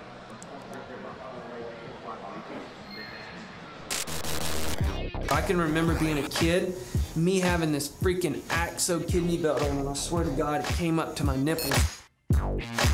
What are they for? Have we evolved? We don't have kidney issues anymore. I had kidney belts my whole life. What happened? Why do we not need them anymore? It felt like a waist slimmer. You know those things they sell on TV now, those waist slimmers? Like that's the way I was wearing it. Might as well wear a beer belt or something. I don't know. McGrath wore a kidney belt. Shocked. Bruise your kidney? I don't know. You're gonna do that without the damn thing around your waist. Yeah, I can't remember the last time I wore a kidney belt. Kidney belts. These 90 pieces are the best. Shane McElrath and Jordon Smith. They're friends, teammates, and rivals. They are the elite riders on the TLD Red Bull KTM team, and they're as comfortable battling each other on this straight rhythm course as they are enjoying that RV lifestyle together off the track. You better be on your A game because last year I think I had you covered. Last year I remember he backed out before the night show. Staying out here, the Red Bull Straight Rhythm in the motorhome. Being in a camper this weekend really kind of gets me feeling like I'm, I'm back in North Carolina, I'm back in the woods, uh, just at local races again. Like the good old days, getting suited up in the motorhome. This race is really unique in the fact that I can come out here and kind of live in a camper, and it's cool to have that one unique race a year where we can kind of bring it back to our roots and, and just go have fun.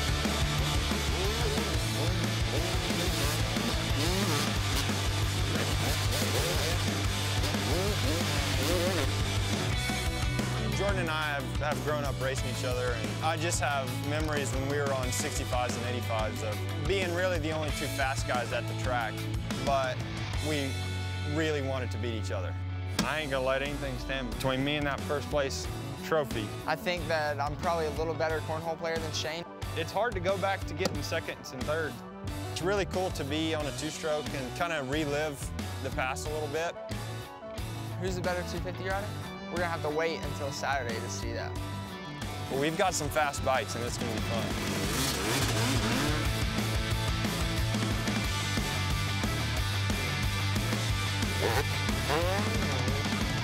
It's gonna be really cool to wake up on Saturday and, and walk out of the camper and boom, we're here ready to race.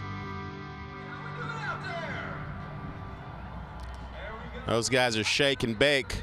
From RV dealer locations, rental tips, campgrounds, activities, and stories from other RVers, Go RVing gives you everything you need to find your away. Visit GoRVing.com to learn more.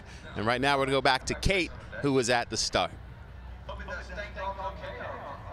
I'm sorry, Jason. You're you're you're no Kate. Uh, yeah, I'll, I'll second that emotion, no doubt. Uh, it's been a great night so far, but there's been these super matchups that we're looking for. We already went through one round of the 250, so we're getting closer and closer. You know how brackets always work. You start with the highest seed against the lowest. So the racing's only going to get even tighter, and we've already seen, GL, several events come down to less than one-tenth of a second.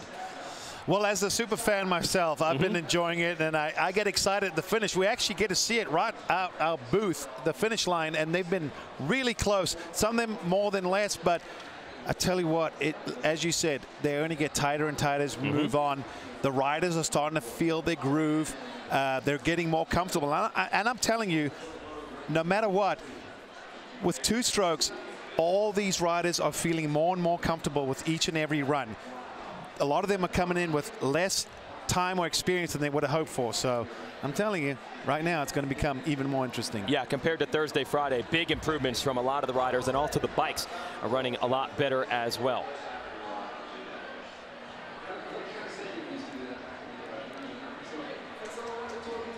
So we're in Pomona, California. This is the Fairplex, always the home of Red Bull Straight Rhythm, but with a completely different twist this year, racing two strokes, a 125 class and a 250 class. We already raced the first round of the 250s, so now we are down to the Elite Eight. Ryan Dungey will face off against Cedric Soubeyras, the Frenchman. Ryan Villopoto against Josh Grant. That's an old rivalry there. Jordon Smith against Cameron McAdoo, and Shane McElrath, who has won this race several times on a four-stroke against the very speedy Ryan Morais. You know what I find more remarkable about this graphic is the, the highest seed, one in every bracket. That usually never happens. So it's Soubeyras against Dungey. Let's meet the riders.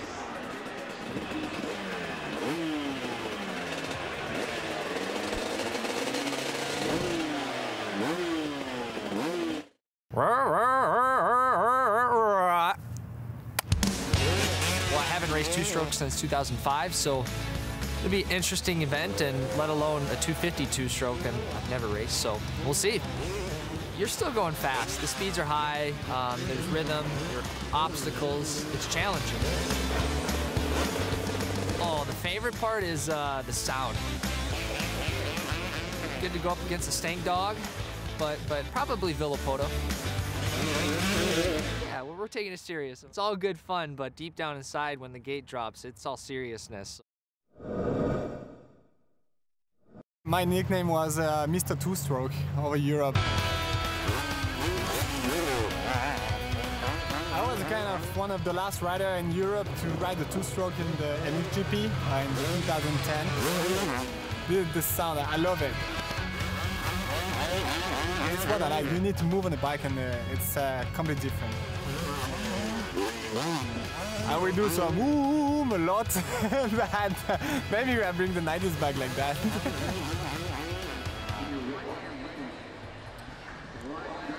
So again, it's going to get tighter as we move into the quarterfinals. Dungey was the fastest rider. Soubeyras the eighth quickest. Dungey eliminated the 16th fastest. Mike Brown earlier tonight. So we'll see how Dungey against Soubeyras goes here. And in straight rhythm, we run best two out of three. If you win two races, you move on. If you lose two races, you're out. If they each win one, we'll have a third race to determine who goes to the next round. So Ryan Dungey has never had a race on a 252 stroke in his illustrious career. He did some 125 two-stroke races when he was a teenager in the amateur ranks. But his professional races were always on a 250 or 450 four-stroke. We have seen rapid improvement each time Dungey has gotten on the bike throughout the weekend. Well, that and he's got the Red Bull KTM team behind him. Mm -hmm. And I'm telling you, that bike is just barking if you're out here in person. I mean, it just sounds like it produces horsepower. But for the Dunge, as you said, not a ton of two-stroke experience, a retired rider, but this guy is in shape. If you if you measure his waist, I'm telling you, he is he a looks fitter than even his racing days somehow. Yeah. It's making me look bad. but Soubeyras is especially skilled in technical supercross type conditions, battling off the gate right now. Well, two supercross champions from opposite sides of the Atlantic. Dungey off to a great start. Headed to go RVing double, and Dungey able to lead Soubeyras through there. As we head to the middle of the track, about a three bike length lead for the four-time champion of Supercross. All right, he's going to scrub it over here. Now he comes over the halfway jump, the tunnel jump. You land off this, little scrub. He's going to double in, double over again, onto this tabletop. Oh, he goes over, now on, off. Ooh, got a little close to the white line in the middle. Crowd comes to life as they see Dungey right in front of them through the whoops. And he wins his first race against the Frenchman, Soubeyras. Soubeyras on a Suzuki RM250. They haven't made that bike in a long time, but the bike sure looks brand new. That thing is fresh and ran pretty well, but he's got to come back and try to beat Dungey in the next one. Let's send it down to Kate.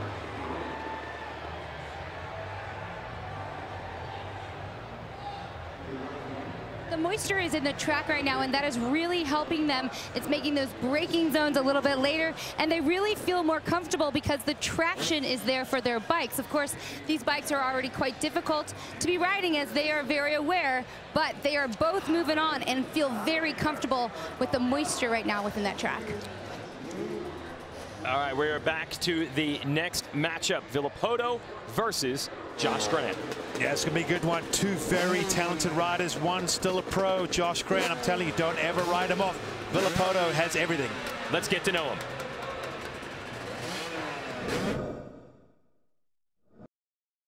Everybody's gunning for me.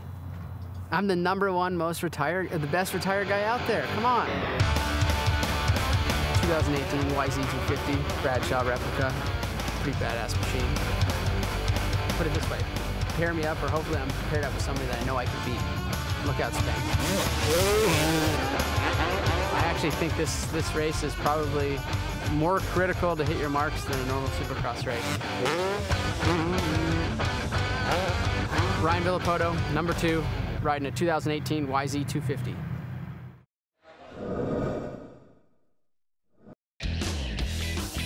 First time at this event, feels pretty cool. Been able to check out the track.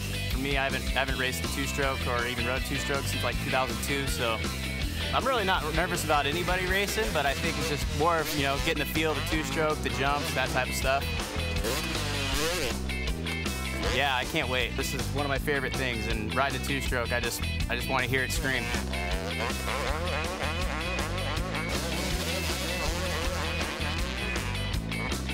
Smell of my two-stroke probably, probably the best air freshener you can put in your house.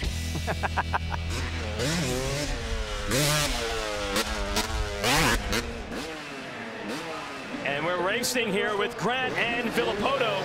Kia Holeshot going to Villopoto. He's got a slight edge, but Grant on it right back with a huge stroke. Halfway point. This is where JG shines. He has uncorked a big jump there. Little bobble. This is going to be interesting. He can't get it. He couldn't get now it comes down to the ropes. And Villopoto has been lightning quick through there all night, and he continues. And he holds off Grant.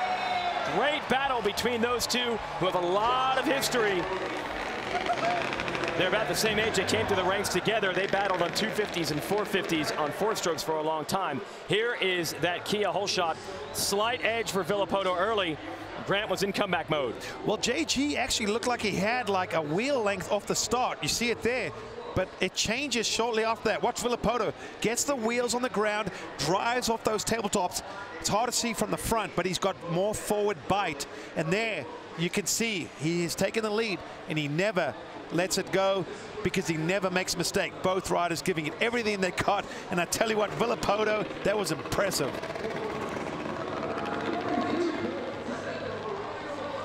So we'll be back with more Villopoto and Grant because you got to win two races to eliminate the other rider. Should be fun to get those two old rivals back on the track. Next matchup, it's going to be Cameron McAdoo against Jordon Smith. Let's talk to these two. I'm Jordon Smith. This weekend, I'm racing the KTM 252 stroke.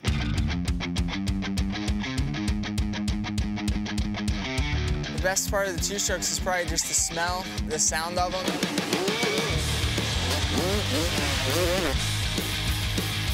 This event with uh, all the crap talking you can do before is really unique. I've already been talking quite a bit of crap to Ryan Villopoto, so looking forward to uh, going head to head with him and, and seeing what I can do.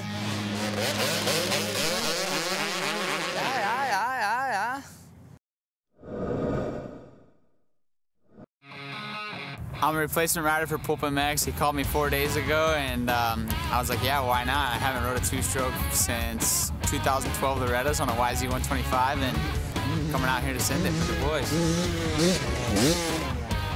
I'm excited to ride the two-stroke. It's gonna be sick. Like those guys that did it racing Supercross back whenever they were, and that was gnarly. So I'm excited to see what it was really like. Best part of two strokes is the sound of them. You can have a good sounding 250F or whatever, but a crisp 125 or 252 stroke is just unbeatable. There's gonna be a lot of great guys out here this weekend, and I, would have to say that Ryan Dungey would be my dream matchup. Well, to get to Ryan Dungey, McAdoo's going to have to go through Jordan Smith, who's on a factory KTM. His team manager, Steve Mathis, says the goal is to ram it up against the factory teams. So let's see if McAdoo can get it done. It was supposed to be Alex Ray on that bike. Alex Ray got hurt. McAdoo, as he mentioned the piece, only got on the bike this week. We'll see how he performs against Smith, who has been lightning quick every time he's been out on the racetrack. Yeah, I think Jordan Smith could be the favorite here.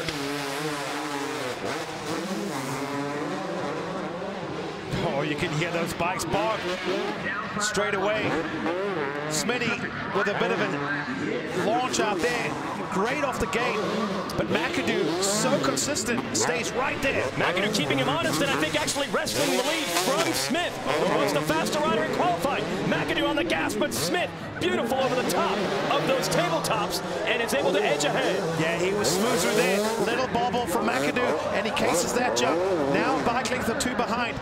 But oh, but a few mistakes from Smith. McAdoo's got another shot. The America's Tire Whoop section coming up, separating them from the finish line. McAdoo rode very well, but Smith just that much better. McAdoo kept him honest. First half of the run, he was right there. I think if he didn't make that mistake earlier on, it would have kept things really interested. But, uh, of course, he has a chance to redeem himself.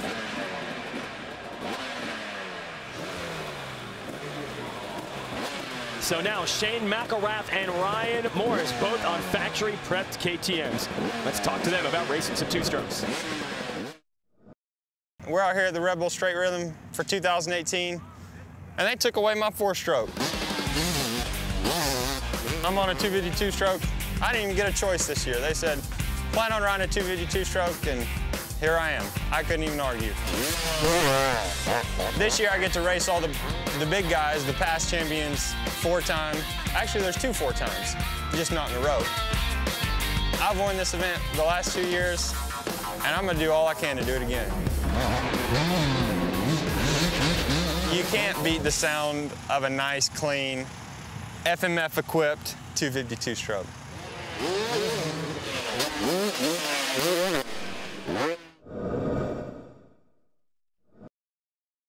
Would say my favorite part as far when you look at a two-stroke is just the pipe, like just the look of them.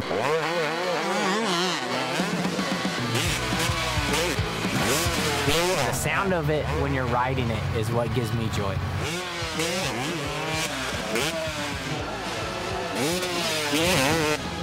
Everyone here is really good. Obviously, the dream matchup would be me and Dunge in the final, but be a tough one with everyone that's lined up.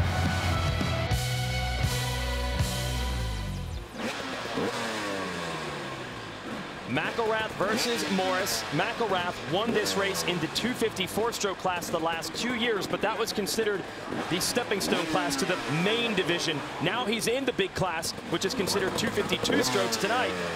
So you'd think he could be a favorite because he's won this race before, but Ryan Morais has been so quick all night long. He's been solid, he's been strong.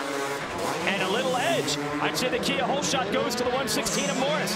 But quickly, you see the pink helmet, that's a custom painted 1990s style Troy Lee Designs lid on the 12 of McElrath, he's making a comeback against Morais. Well, I've gotta say, Ryan Morais riding phenomenal at the moment. If he holds off on this one, this will be a huge upset. Morais, a test rider for KTM. He's been around a long time. I've known the guy. He almost won an East Coast title. Right now, trying to get redemption. He's on fire. Yes, and McElrath, one of the best in the Supercross game right now, and he's using those skills to come back. He has wrestled the lead Oh, this is tight. Morais into the America's Tire Whoop section, wheel to wheel, and a clutch performance by McElrath to come from behind when Morais had the edge. Oh, that was interesting. Morais had it the first half. You can see McElrath, he dug deep. I think Ryan Morais maybe just not quite as precise in the second half. See, he doesn't get the wheels on the ground quite as good. Oh! Uh, McElrath. we- yes, he hit the line. So that might result in a DQ and maybe give the win back to Morais. We'll wait for the officials to judge that one. That is part of the game. If you switch lanes, I, I learned that in uh, qualifying the very first year.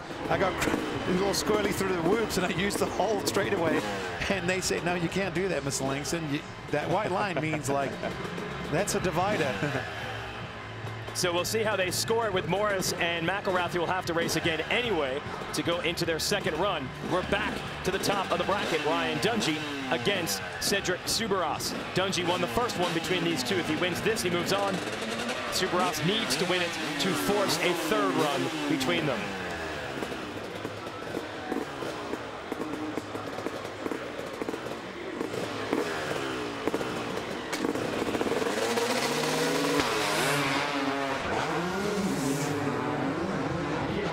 Dungey a slight edge on Soubeyras early on. Soubeyras on the yellow Suzuki. Dungey on that orange KTM. Soubeyras very precise to those triples to keep Dungey under control. He's right there with him. Dungey is on fire, but you saw him clip the top of that jump, little bobble there. Soubeyras is riding well. Dungey may have given him a chance to get back in the game. Oh, Soubeyras overjumped that jump, lost another bike length. And I think he touched the white line also. Soubeyras going to keep trying. But that mistake gives Dungey about five bike lengths. Now in view of the fans. Into the whoops. Ryan Dungey has eliminated Cedric Soubeyras and is moving on into the semifinals. Yeah, he's the Dungeonator. He's here to eliminate people. Soubeyras, that was a really great run from him. He gave it everything. Through these tabletops, they've been tricked for all these guys all day long. You see them scrubbing, and then Soubeyras got an awkward kick. His rear wheel brushed the line there. I think, I think the officials would be cool with that. But later on, before the whoops, So Ryan Dungey's going to move on. He's won two rounds, one against Brown, one against Soubeyras. Let's send it down to Tina. Yeah, and just a few minor mistakes on there, but Cedric was a bigger mistake, and uh, you got the lead. Just walk us through that. Um, you know, I got off to a good start, obviously, and uh, I hung the rhythm lane a little bit, but then just tried to stay consistent. Uh, more chase after my more chase after a good lap time more than competing against another guy. Kind of trying to set the standard a little higher, but I'm just having fun. Yeah, just enjoying it. Okay, but you do have the potential, depending on who wins the next heat, to race against Villopoto. So what can you say about that? I would be pumped. I uh, was kind of hoping that would that would happen. I uh, I hope that he can do it and we can uh, go head to head like old times. So be fun. Thanks, Ryan. Uh, Kate. Josh Grant, I was talking to him earlier about at being at the starting gate, helmet on, knowing what to expect. And he said, you have to be mistake free, but you also have to look to find speed where you can get that extra speed. He said, one thing that you don't want to do, though, is look over at your opponent. He said, because the moment you do that, you lose your rhythm. And my friends, that's what this is all about, is being in point, on point with that rhythm, Jason. Yeah, absolutely, Caden. Grant, always known as someone that is fearless as far as sending the huge jumps. And he does have a combination that no one has done. But he said it's not something I want to have to do. If I need to do it, I'll give it a shot. He tried. He couldn't quite clean it against Villopoto in their first race. And Villopoto got the win. If Villopoto wins this one in the number two, he moves on. The 33 of Grant has to win this one or he is eliminated. And a great start for Grant. Good start from Grant. Villopoto also a solid start, but JG needs this. He doesn't need to uncork that jump now that he's ahead. Just do not make a mistake and be well, remind yourself that you got a four-time Supercross champion behind you. If there's one thing he knows how to do, that's go fast in a straight line. Mistake from JG. And a little one from Villopoto, but Villopoto is closer than ever. It's about half of a bike length, but Grant continuing to control it. This is the rhythm lane where Grant has the big jump. Doesn't do it, though. Nope, he doesn't need to because he's got the lead on Villopoto. He's got to nail the whoops. But Villopoto's been very quick to the whoops. No! enough. Beats Villopoto, and we're going to a third run. Yeah! And there's his dad, Mike Grant. He's pumped. This is what we love, right? Yeah, Yeah, man. let's go. Three rounds, baby. The crowd is on their feet. They are fired up. Not gonna lie, I'm pretty excited too. I love this stuff right now. This is cool. There's Mike Grant. There's the reaction. Yeah, there's a proud papa right there. Villopoto sent it through these whoops. But, was uh, good. yeah, but So good. Grant did not lose much ground there and was able to maintain his advantage to the end. So this is going to be high pressure. Back to the starting gate we go. McAdoo has to try to beat Jordon Smith, or he will be eliminated on the number 44. Smith leads it one to nothing. They split, uh, switch lanes from where they were earlier. Oh, more tension. Is he a McAdoo or McAdoo? Let's see. McAdoo, we're going round three. This will be fun. But Smitty's been strong all day, I'm telling you. McAdoo was there for about three quarters of their first run. Smith got away.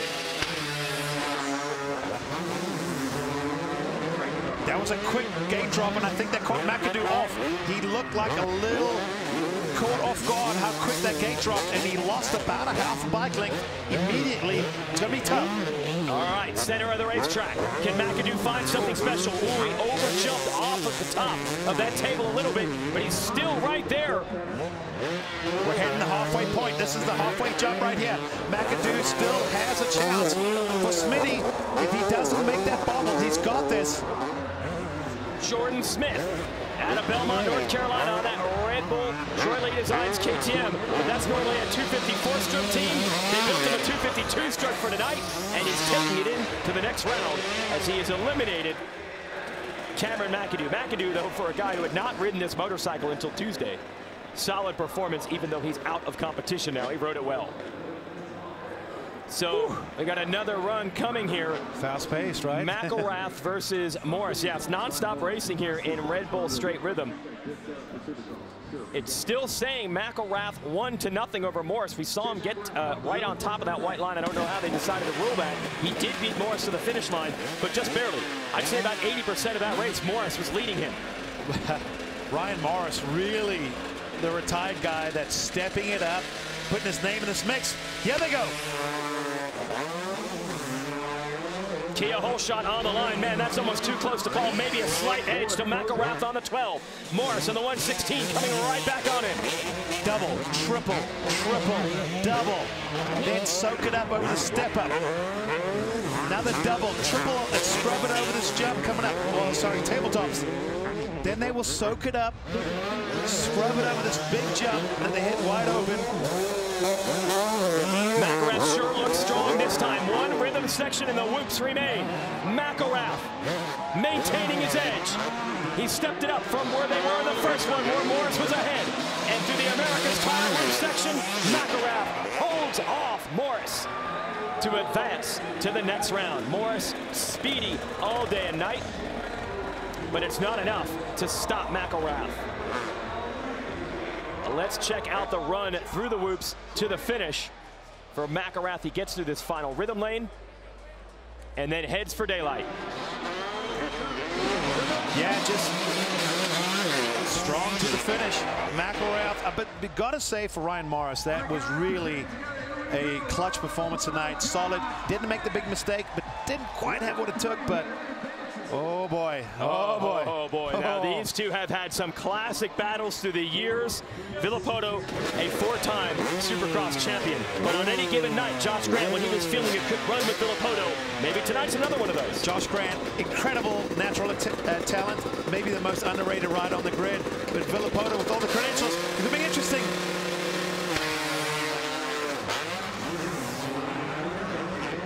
Oh, Grant about a half a bike length on Villopoto right now. Everything those two riders had, I'm telling you, Oh, yeah. they gave it all right there.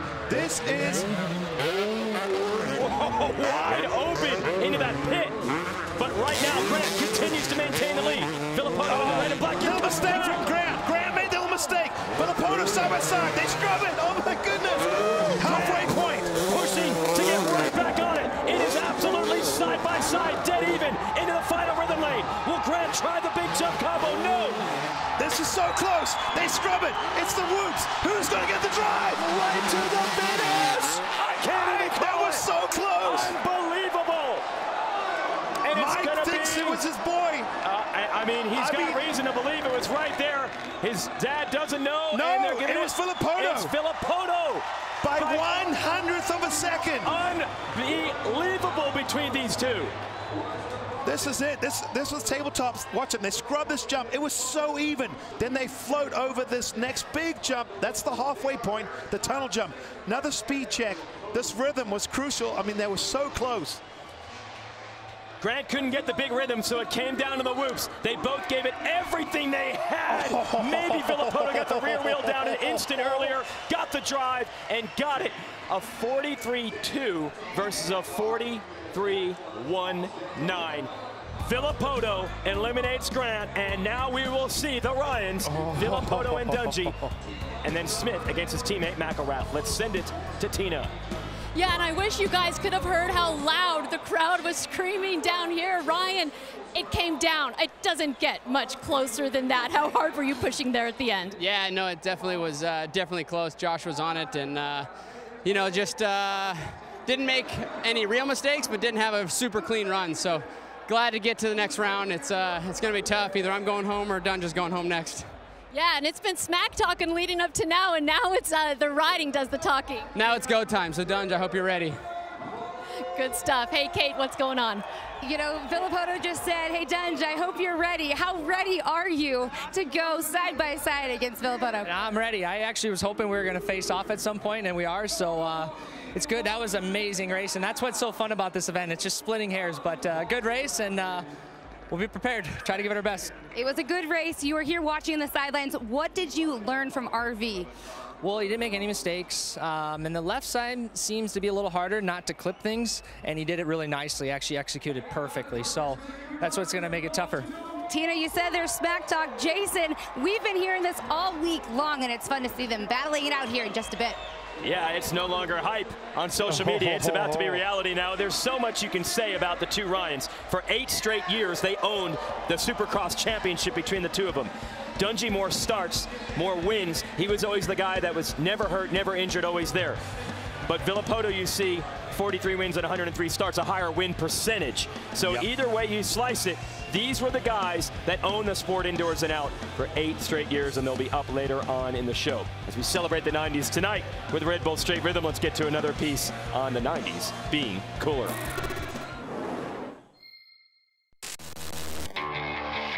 they're like, hey, we got this new guy, and his name's Seth, and then he started coming out. No blood in the picture, it's no good, right?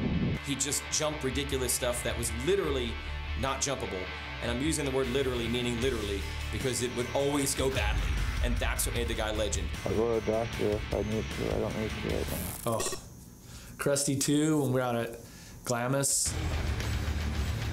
So I'm watching him and it's like, I landed on all my, my brand new Hondas that I had. I think I had a quote and I'm like, oh my God, that was the stupidest thing I've ever seen. That was the stupidest thing I've ever seen. I know. That's so dumb. Uh, the legend of the crusty demons of dirt.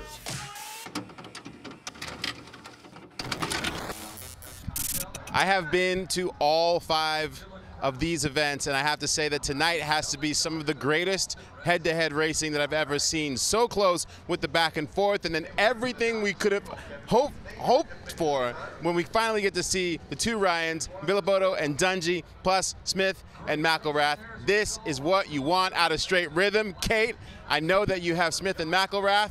Let's see how fired up they are. I think fired up is a good word. You know, interestingly enough, earlier in the day, I was talking to both these guys, and you both made comments about the other. What do you know that he can bring to the track here today? Uh, he's uh, he's really fast and just he hits his marks almost every time. So uh, you just have to hang it out a little more than him. And, and at the end there, he's really good in that last rhythm section all the way to the finish line. So no matter kind of what the gap you have, if you do have a gap to that point, you have to be on point through that whole rhythm section or he'll get you. Good insight from Jordon. Now, Shane, earlier you said that uh, you're a little bit different of a rider, and actually, he made the comment that you're you're so your attitude is like winning the lottery every single day, but you need a little more Jordon. Why? Uh, because this is serious. I mean, we're, we're out here. This is this is a, a good fun race, and it's not important on paper, but we can make a payday. So, um, I mean, obviously, we're both going to give it our all, and we're both competitive, and Jordon's not afraid to let it hang out. So, I uh, I got to really be on it if I'm going to race the finals against either number two or number five. Uh, it's so cool. These two teammates are going to battle it out, both knowing what they can bring to the track. Jason. Oh yeah, they've known each other really their entire racing lives, and they see each other at the test track every day now as professionals. Let's transfer back over to the 125 class. Four riders remain. Carson Brown will go against Chase Marquier. AJ Catanzaro will go against Luke Renzland in a showdown of the retro yep. tribute bike builds. Brown was the fastest qualifier of the 125 division. We'll see if he can carry that speed all the way through against Marquier. Interesting thing about this track, they kind of designed the rhythms to be totally different when you have 125s and 250s. So what you just saw in the 250 division, you're going to see completely different types of jumps out of these two. Marquier on the 96 and Brown on the number 910. Brown relatively new to the pro ranks. Marquier has been at it for a couple of years now. Both ride for the JMC Motorsports Husky squad.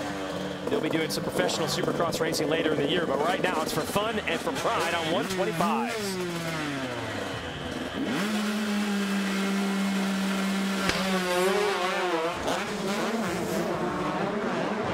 Sounds good to hear two 125s ripping off the line. Little advantage for Brown, but Marquier charging into that speed check to try to come back.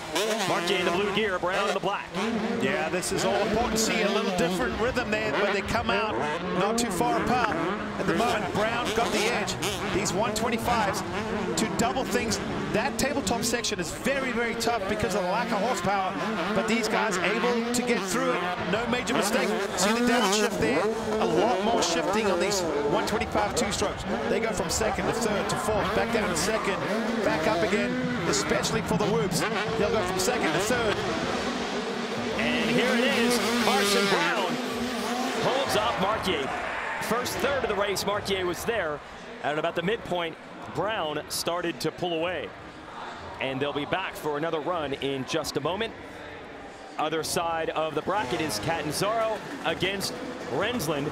I think we could say this is the best looking matchup because they both have the awesome tribute bike builds. Renzland, Dreamland USA is sponsored. That is actually his track in Florida, which is an absolutely superb place. It's like Yeah, a dream awesome. It really to go is. ride. Yeah. Catanzaro makes money as a racer, but also by hosting riding schools during the week. Now it's his job to try to take Renzland to school here. Oh, they're going to try and school each other. Don't make a mistake from that. They want to be the coolest looking retro riders out there. And the fastest, and right now a slight edge, maybe a bike length to Renzland, who's been so good through these triples, but Catanzaro does it as well. He does, he does it so well. Now, here's where it gets tough for the two strokes. 125, it's a little mistake from Renzland. Look at that, that helped Catanzaro. Yeah, the cat right back with it, side by side. A good little scrub from the 259 as the cat he's right there. Halfway point, they were neck and neck. Got to keep it clean, double. Got to get on this table. Don't mess it up, get off. Get over this. Oh, now the check. whoops, Yeah, all the about the whoops. whoops. Let's see if Catanzaro can send it through. He does. Oh, the pegs, I thought he was going to go down. And there's the rack racing crew at Catanzaro. Oh, he came close, but is going to lose by about half of a bike length. Renzland beats him in the first run. That was close. Look at the front wheel miss one. And Catanzaro, his feet were off. He almost crossed the line. I think had that not happened, that would have been a photograph finish. The rack crew, that's short for random acts of kindness. These guys, they do a lot of cool things. They work with youngsters. They take that money and they reinvest it and help That's awesome to have all that intensity of a traditional race piled into 45 seconds. And they can't hear, we can't hear them. I'm surprised we can't. Surprised we can't just hear them from the pits screaming that loud. So we go back to Brown against Marquier. Marquier has to win this one or he is eliminated. This is for a bid into the finals. And Brown still rides a 125 a lot. Actually, Ryan Villopoto, one of his first two-stroke races ever, was at a race in uh, Washington a couple years ago, and it was like, oh, Ryan Villopoto's here racing. It's amazing. He got beat by a 15-year-old at the time, Carson Brown, and that kind of put Brown on the map as well. Not only one of the up-and-coming hot amateurs in the country, but a bit of a specialist on the 125, and he has proven that hype is reality here on the 910. Kia hole shot up for grabs, and I believe it's Marquier on the 96.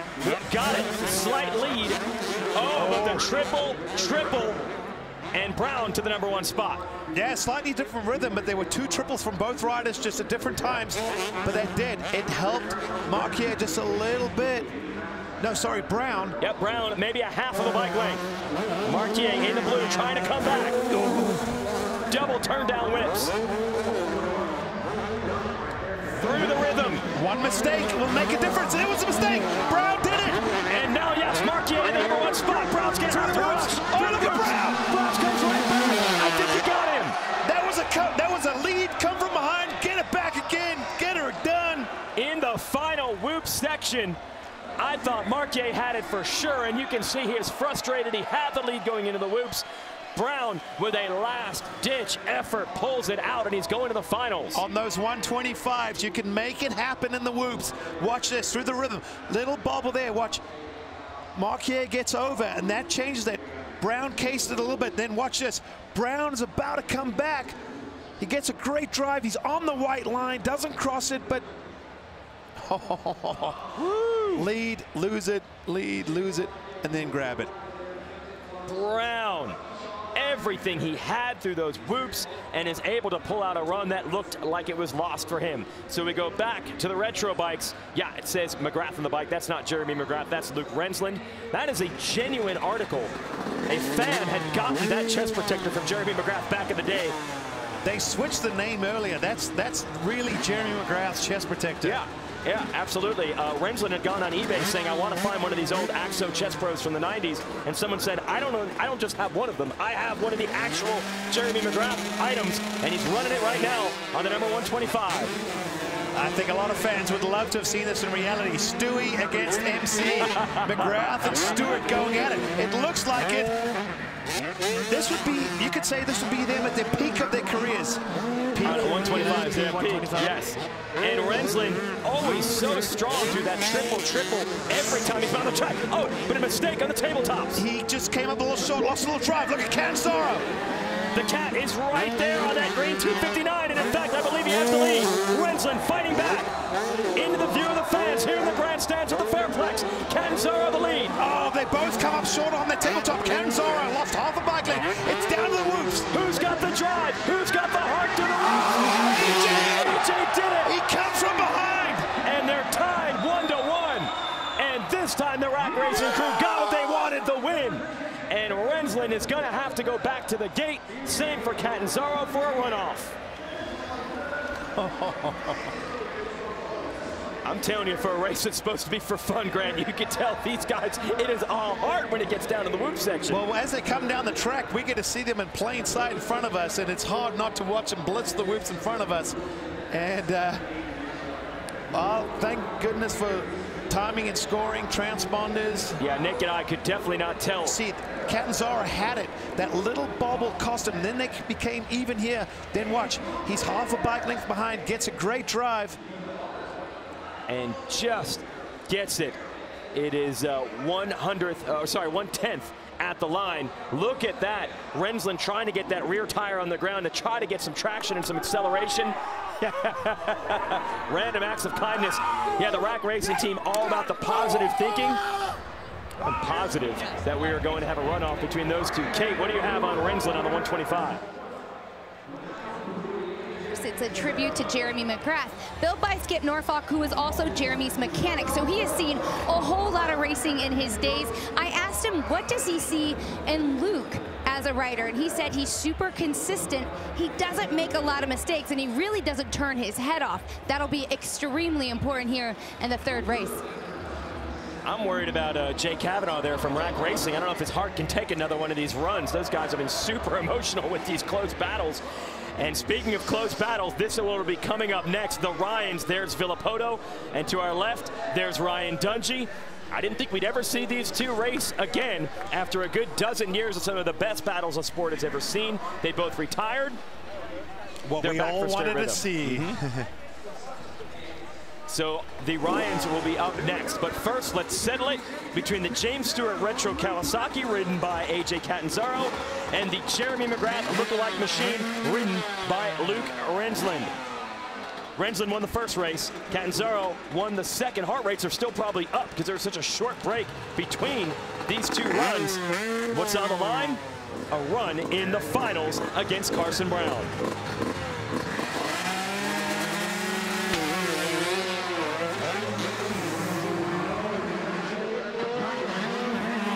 Slight edge right now for the blue and white of Luke Renzland. Originally out of New Jersey, does his riding in Florida. Catanzaro based in Connecticut. Jumping triple triples. That's a big deal on 125. Look, it went from behind to ahead. He's got to get clean through here. The tabletops. He struggled the first time, and that gave Renzland a chance to get back in the game, and he's back in it. Oh, it's going to be another showdown right down to the line. Maybe a bike leg for Catanzaro. Renzland had been good in the early triples every time he was on the track except now. So he's put himself in a big hole with the finish line in sight. Can Renzland find something new? he went off the he track. chases. And AJ Catanzaro is going to the finals. Renzland gave it everything. He scrubbed that jump so hard, he got a little squirrely off it. And uh, Casey jump. Oh, here we go. We got a worm? Do we have a oh, got worm? Yes. Yes. Another one from the classic James Bubba Stewart playbook. Has he got a third one saved in case he wins the finals against Carson Brown? Well, how about the pressure of straight rhythm? Renzland was the man through those triples all day long. He didn't get them when it counted in this one. Yeah, I see he clipped it there, and he got a little too much air time. It pushed him off. He was going to hit that hay bale. He pulled left. That put him out of it. But nothing better than the worm. James Stewart at Anaheim. I remember watching this. And as a racer at the time, it was not something you wanted to see. A young, talented rider with a ton of confidence moving on up through the ranks. Yeah, now it is a tribute bike. AJ Catanzaro rides it. Let's send it down to Tina. Yeah, the battle of the retro bikes, and what a battle that was. Uh, walk us through that and what you did to make the difference. Uh, this, I mean, a straight line, it's just who wants it more. The one before that, I had to double all the way through, and I just said, don't give up. I knew picking the right side, the whoops are a little faster at the end, so I just tried to hold the kit together. Tell you what, this is the most nerve-wracking 45 seconds you can imagine. You know, you have the retro bike, James Stewart. You also have the worm dance down there. How'd it look? I hurt myself a little bit, but hopefully it looked good. It looked pretty good. Uh, you know, he's won this event before, so you're living up. To, you got to live up to some big expectations. Yeah, when I did this tribute, everyone said you got some big shoes to fill. I'm not trying to fill anybody's shoes. He's a legend, but at least I can ride okay to pay the 259 some credit it's due.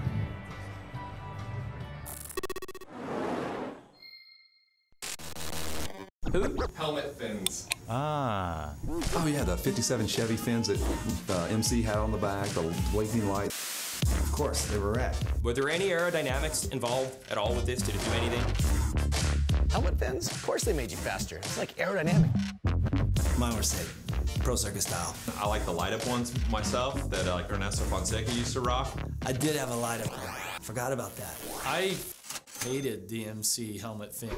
Yeah, I can imagine he would be hating that. Especially one with the light because I saw it because it was at the back of his helmet and typically that's where I was at. I'd like the, the, the, the rear view, the shot. I should have put my face on the back so he could look at that all the time too. It sucked. I didn't like it. No. Next subject. Ah, you gotta love the Jeff Emig McGrath rivalry. You could tell that it still lasts to this day. I love the fact that they still have fun with it. And yeah, those those fins, aerodynamic? Uh, I don't think so. You guys have clearly been enjoying tonight's straight rhythm. I'm getting some questions and, and all sorts of feedback here uh, on Twitch, on social media. Uh, people saying, hey, which Ryan do you think is going to win, Sal? Um, I'm going to go with Dungey. I think he wants it just a little bit more. Villopoto obviously got him off the couch, um, talking all that smack. But I'm, I'm going to go with Dungey. Uh, someone else is asking, what does my victory dance look like? Uh, yeah, I think we're gonna we're, we're, we're, we're gonna skip that one. This is a good question. What's it smell like? It smells like two-stroke joy. You just take a a good deep breath and you just feel you, you smell that fuel mix and it makes you feel alive. That and the sound of the two stroke just back and forth here. I'm having the best time ever that you could ask for here. And we are ready for the semifinals. Kate i know you are fired up. What do you got? Cool, calm, and collected. Ryan Villopoto is sitting here ready to go up to the starting gate, but more importantly, Ryan Dungey was watching you and he said, You make no mistakes. How much pressure are you putting on yourself knowing that the competition is pretty steep? I mean, I like he thinks that way, but he makes less mistakes than I do. So, um, and that's what it's going to come down to. It's, uh, I think we're both pretty close in speed-wise and in the time. So, um, a good start and just a clean run is, is what it's going to take to beat him. How much fun is it knowing the competition is something that you guys have been having this rivalry for years? I think what's most fun about it is is whatever happens happens, and there's nothing riding on tonight, so I can go back and have a beer and and uh, you know just just enjoy and having fun with with this race. All right, good luck out there. Be safe. And Ryan Dungey, he just said that uh, you don't make any mistakes. Any last words as you are making your way? What's going on in your mind? Just have some fun. There's not much riding on this, so just uh, to be able to do this again is uh, pretty cool. I'd say that's probably right. Pretty cool indeed. I guess we're going to find out who is the best of the retirees here tonight. Yeah, this has to be a dream scenario, not just for the fans and for us, but even for them. I don't think they expected to face off in a race. Villopoto actually retired in 2015. Dungey went on to win quite a few more titles and races after that. He retired in 2017. But to think that they would both race again, let alone against each other, and in a head-to-head -head type battle like this on two strokes, That's couldn't have scripted it better. Wanted. Yeah. Maybe they didn't so much. They say it, but this is what we wanted. RV and RD maybe the longest running rivalry at the top of the sport ever. And what was interesting about it, when they battled, they always kept it between the lines. We never really heard cheap shots, trash talk. They never really rode each other rough on the track. It was just two competitors that wanted the same thing. Absolutely. There are maybe more bitter rivals in the sport, but when you consider that the Supercross title went exclusively between them for eight straight years, 2011 through 2017, this the credentials speak for themselves. Is on their feet already. The hasn't dropped.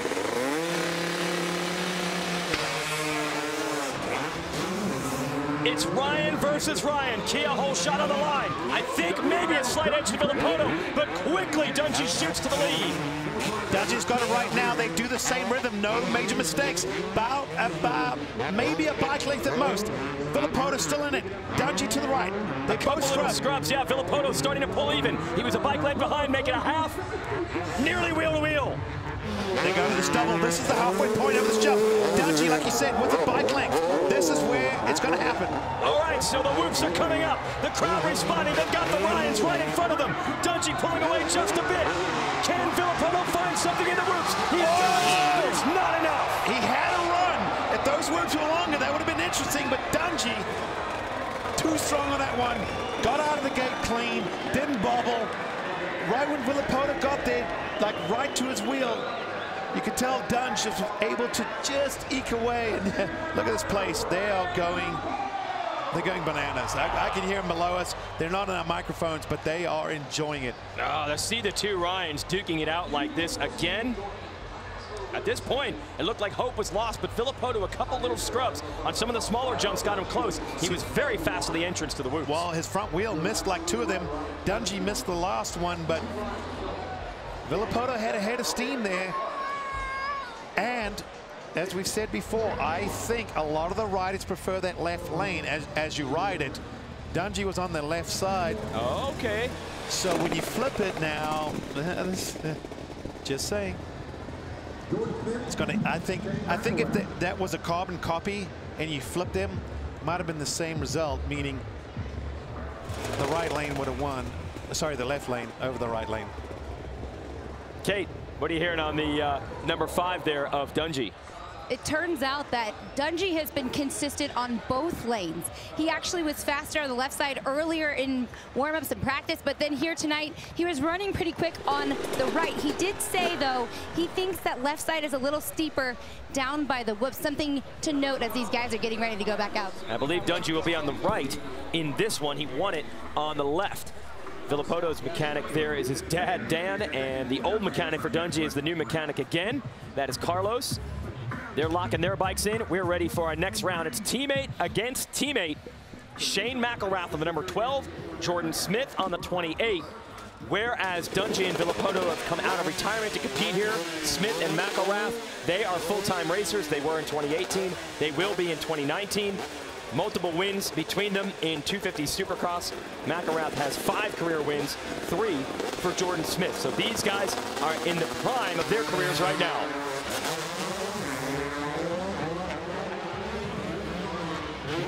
Almost too close to call right now. Maybe a slight edge for the 12 of McElrath. Smith quick through this triple-triple to draw even. They, they almost look like carbon copies as they go by side by side. And McElrath, he did say he likes this race because the focus on being perfect in every jump, he thinks it's good practice for regular Supercross races with multiple laps. Smith wants to be here just because he thinks it's fun, but it's not fun right now. It is serious competition and very close between the teammates. McElrath a little bit of a lead as the whoops come up next. Oh, Smitty could have had a little bobble there. We, we heard the rider saying the right lane is maybe not as good through the whoops because of being steeper, but a little mistake from McElrath didn't allow him the chance to come back. So McElrath beats Smith in the first run. Here we go down in the second half of this track. It was close. It's where McElrath started to edge ahead. Yeah, on the right side of the whoops, you could tell not quite as quick. Smitty came back. He mm. saw the mistake right at the end there. He got a little cross-rutted, as we call fishtailing and uh, not quite as efficient, but he's going to go back and go, well, you know, if I iron those mistakes out, I've got this, which everyone says going back to the gate. Got to find a way yeah. to psych yourself up. Oh, boy, this is cool. Let's get psyched up for this. Ryan versus Ryan again. Dungey a slight edge over Villopoto the first time he won the round. Now they're going to flip-flop lanes. We'll see if that can make the difference. Maybe there's something that Villopoto learned that he can use against his old rival here. Two of the best to ever do it on dirt bikes are back for one night only on two strokes. Let's go racing at straight rhythm.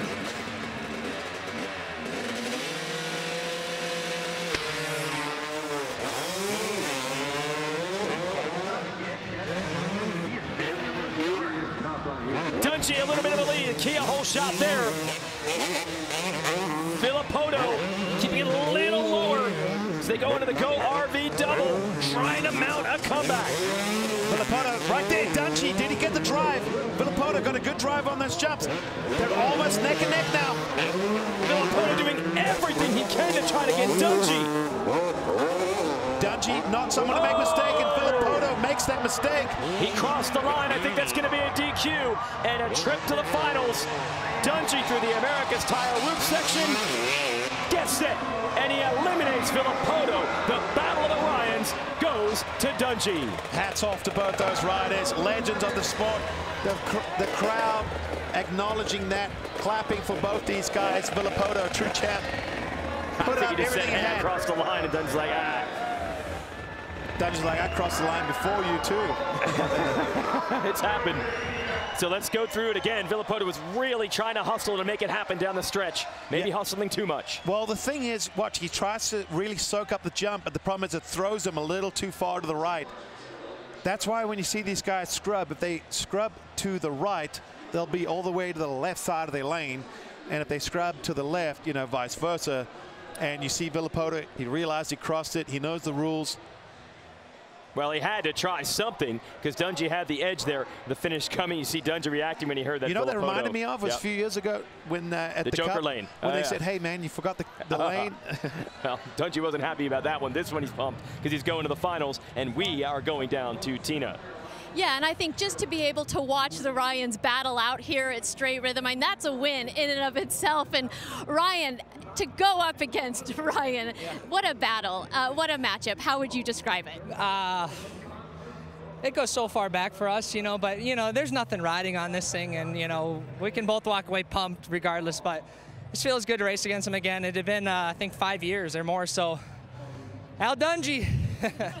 got to throw that one for Villo, but uh, if anybody knows Villo, he throws some good jabs, so I got to give it back to him a little bit, so. It's been so much fun to watch you guys. Now, you do still have one more race. Absolutely. Um, just try to execute these last uh, this main event. I've never made it this far, or I have actually, and then I got edged out by Marv. So yeah, we'll just go for it and focus on the uh, overall um, each each individual run, and like we said from the beginning, give it our best. So thanks. Some very cool moments down here, guys, at Straight Rhythm. Yeah, it almost feels like Dungey has won the thing because he beat his old rival, but it's not over. There's a final. The question is, who will Dungey face off against? Will it be Jordon Smith or will it be Shane McElrath? McElrath won the first run between these two. Smith needs to win this or he's eliminated. We will, by the way, have trophy races for third. Villopoto will be in that one. Which rider will he go against? One of these riders will go to the finals. The other one will be in the third place runoff race a little later on tonight. And by the way, those are uh, old school Troy Lee Designs helmets. Troy Lee now operates a race team for KTM, but it started as a helmet painter, so he's got a lot of retro touches on the custom helmets for his two riders tonight.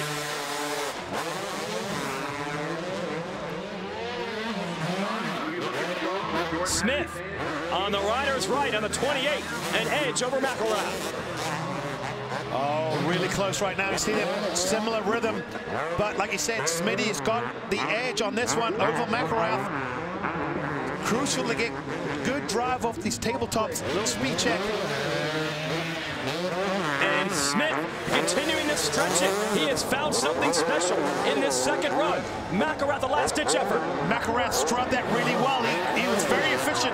Now oh. they're almost neck and neck. It's going to be a drag race to the whoops. I think McElrath might pull out. No! Smith just hangs on. What a race. Love it. Woo. You couldn't script this stuff. These guys are so close. Round three coming up. Oh, yeah. So one win for McElrath, one win for Smith. I thought Smith had this one under control, but McElrath did something right here to get back with him. He was just really efficient about getting that rear wheel to the ground. In other words, getting the power. Watch the rear wheel, straight to the ground, big roost. Gets the great drive, but Smitty nails the whoops as well. Doesn't lose anything. And it comes down to literally a wheel length once again. Man, Jordon Smith gets it, and that was about a tenth of a second between them there. Two riders, both out of North Carolina, who raced each other on the 50cc bikes, the 65s, the 85s, the super minis, the 125s, and now 250, normally four strokes tonight, 252 strokes, waiting for their shot at Ryan Dungey, who will be in the final. There's Dungey's old mechanic, Carlos Rivera, on his right. They're reunited tonight. See the uh, black sweatshirt, that's Villopoto's Yeah, I- dad. He's his mechanic. And then Yeah, these guys uh, got another round. Want to hear some bench racing there between the Ryans. Yeah, if you could. Yeah, that'd be awesome. Carlos, his uh, old mechanic, now Yeah. back with him, still with Factory KTM. And what's cool with Villopoto, his dad with him, as we say, like going back to the early days of racing when it's you and your pops are out in the gate. And he was your your coach, your mechanic, your transporter, your guardian, your everything. And this will be like going back to the early days of racing for these two. McElrath and Smith, many, many, many races against each other through the years. Now they're teammates. They're still friends. On the line, a trip to the finals in the 250 class of Red Bull Straight Rhythm.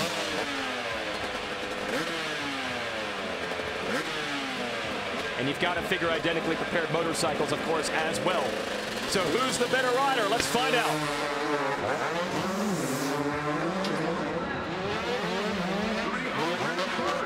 McElrath the slight edge early. Oh, now it's the 28 of Smith He's got him.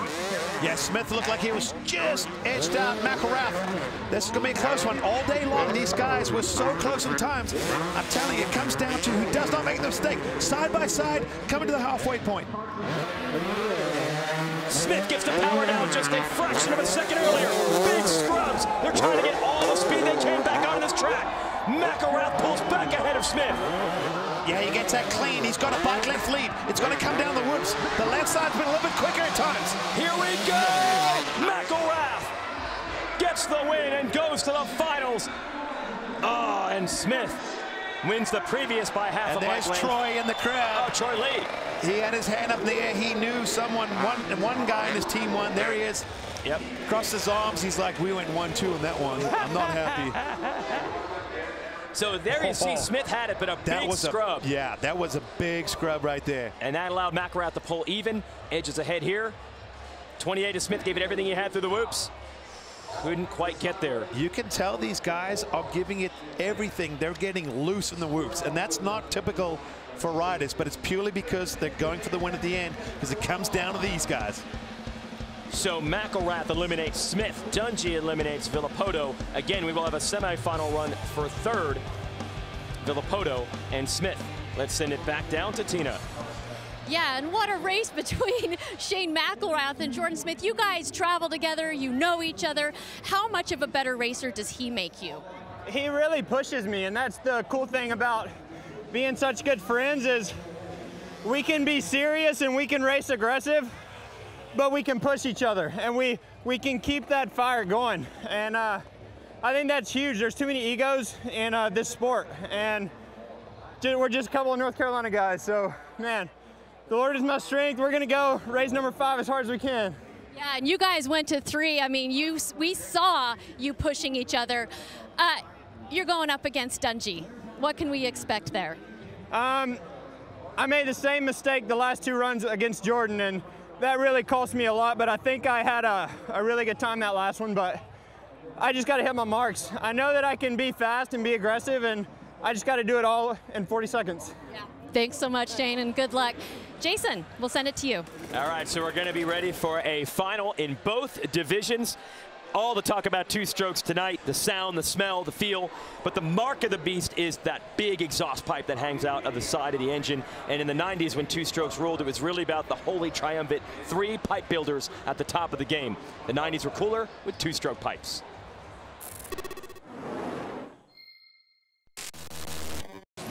What are two-stroke pipes? There's something about the smell of a two-stroke that just takes me back to my childhood. Ah, two-stroke pipes. This is my favorite thing to talk about. Two-stroke pipes, what comes to mind is the cone pipe. I mean, there's nothing better than a two-stroke pipe that's just blue and just ah. It was like a Sherlock Holmes pipe of the 90s. If you had that that gleaming FMF or Pro Circuit pipe, you were on you were on point. No chrome, the, the full-on cone pipe. Man, two-stroke pipes. The shorter, the louder, the better. Short silencers save lives. Favorite ratio in life? 32 to 1. Well, if it wasn't already a party with incredible racing here at Straight Rhythm, we got the Red Bull Air Force. They uh, jumped earlier in the day during the national anthem, and now flying in again. Some sparklers behind them, because it's a party in Pomona. And all the fans that decided to come out tonight absolutely getting the treat of a lifetime. And it was so cool to listen to McElrath really put into context how fun this event is as he explained his relationship with Smith and like, hey, there's there's no egos here. We push each other, and this is a type of event where we get to race real hard and have fun and appreciate the relationship and appreciate obviously how much they love this sport. And earlier today when I was on social, you know, everyone was asking me which Ryan Sal, which Ryan Sal kind of made the call. Uh, Dungey answering the call of Villopoto. He said, you can have fun with me on the gram, but I'm going to have fun with you at the finish line. We'll get ready uh, for that final, but first, the third race finishes. Weigandt, I know you guys are having a blast. I mean, I, you tell me, this is some of the closest, strongest racing that we've had in the five years of this event. Yeah, I think you're right, Sal. Absolutely. Whether it's to the naked eye or to the stopwatch, we've had so many finishes come down to less than one tenth of a second. A lot of them not decided until we got to the whoop section before the checkered flag. Unbelievable. The two strokes have brought a lot of hype and excitement but they have delivered in reality once we got on the track. We are going to have runoff races for third in each class before we get to our finals. So here are the two riders eliminated in the semifinals of the 125 division, Luke Renzland and Chase Marquier. As always, best two of three wins. This is for a podium, third place overall on the night. There's Renzland, Renzland in the Jeremy McGrath throwback helmet. There's Marquier in the JMC Motorsports Husqvarna. And let's get him started. This is about carrying momentum. That's a 90s helmet paint job right there, if I've ever have seen one. Love it.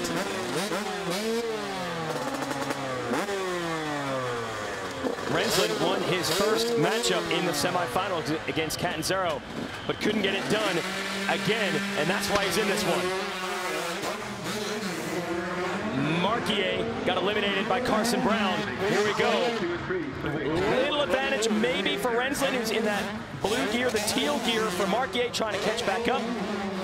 Oh, both of them triple, triple through there. That was huge. That's important. They're getting the halfway point. They'll come over this tabletop section. Look, a little bit different from Renzland there. Yeah, over the go RVing double. Looks like Renzland may be able to pull away just a bit. Can Marquier come back on him? Marquier going to gain one bike length in the second half of the event. Got to get clean through here. This is where one of the sections to be patient on the 125. Different rhythm again. They're side by side. Oh, Marquier, nice comeback. Little sideways before the whoops. It might not matter. It does matter because Renzland was just a little quicker through there and holds on for the win. Right when Marquier looked like he had a shot, like you said, Jason, just got a little bit, I think he got a little too much drive off that last jump. Little wheel spin, didn't get the momentum into the whoops, and that is crucial on these 125s. Watch out, good little scrub, and then lights it up. You see there, the rear wheel, just little fishtail. If it wasn't for that, that would have been another photograph finish. Yeah, Marquier was in position, but couldn't get it through the whoops. And Renzland has him down one to nothing in the battle for third of the 125s. We still have to settle third place in the 250s. That'll be Ryan Villopoto and Jordon Smith. So we'll send them to the starting gates here in just a moment. As the 125 riders, Marquier and Renzland head back. It's pretty cool. Renzland's team, when he races professionally, is Traders Yamaha, and their technician over there is Skip Norfolk. That was Jeremy McGrath's mechanic back in the day, so there's a bit of a natural connection. That is a Yamaha team. That's actually a Yamaha bike, even though McGrath rode a Honda back in the day. Let's send it to Kate with our finalist from the 125 class. Carson Brown is definitely deserving being here in the presence of some of his icons over the years. You have Villopoto right beside you, Dungey. How cool and gratifying is this experience, regardless of what really happened? Yeah, you know, it's a, it's a dream come true to be competing in the same race as all these guys at the same event. And, you know, I'm just having fun with it. I've got a smile on my face all the way. And, you know, all my buddies are here, so we're just having a blast pinning it. What have you learned yet so far through the day that you can now take to the final? Yeah, you know, just a lot of line choice and uh, section work. You know, there's other rhythms that everybody can do, and just finding which one's best for me. I think that's what we're going to see. Which one's best for Carson here? Another guy who is feeling that he's much more comfortable out there. That's AJ. Earlier we talked about that triple triple. Now, what is the big challenge that you're facing? It's just the mental game of it. Um, it's something I've always kind of struggled with my whole career. Um, the one thing I'll take here is I'm hoping that him being young, maybe he'll crack under the pressure a little bit. But Carson's a fast kid, and uh, he's not afraid to hang it out. So just gonna do the best I can, and this is such a fun event. So just happy to be here. You can tell that his spirits are definitely high. Weege, I think what will be interesting to see is if he wins, what dance moves will we see? Yeah, great point, Kate. Does he have three dances saved up? Because we already saw the sprinkler and the worm. I don't know if James had any other dances up his sleeve back in uh, 01, 02, 03, 04 when he was doing that kind of thing. Back to the line we go with Renzland and Marquier for what could be the final 125 trophy race of the night. If Renzland wins it, he clinches third for this year's Red Bull Straight Rhythm. If Marquier wins it, we'll run him again.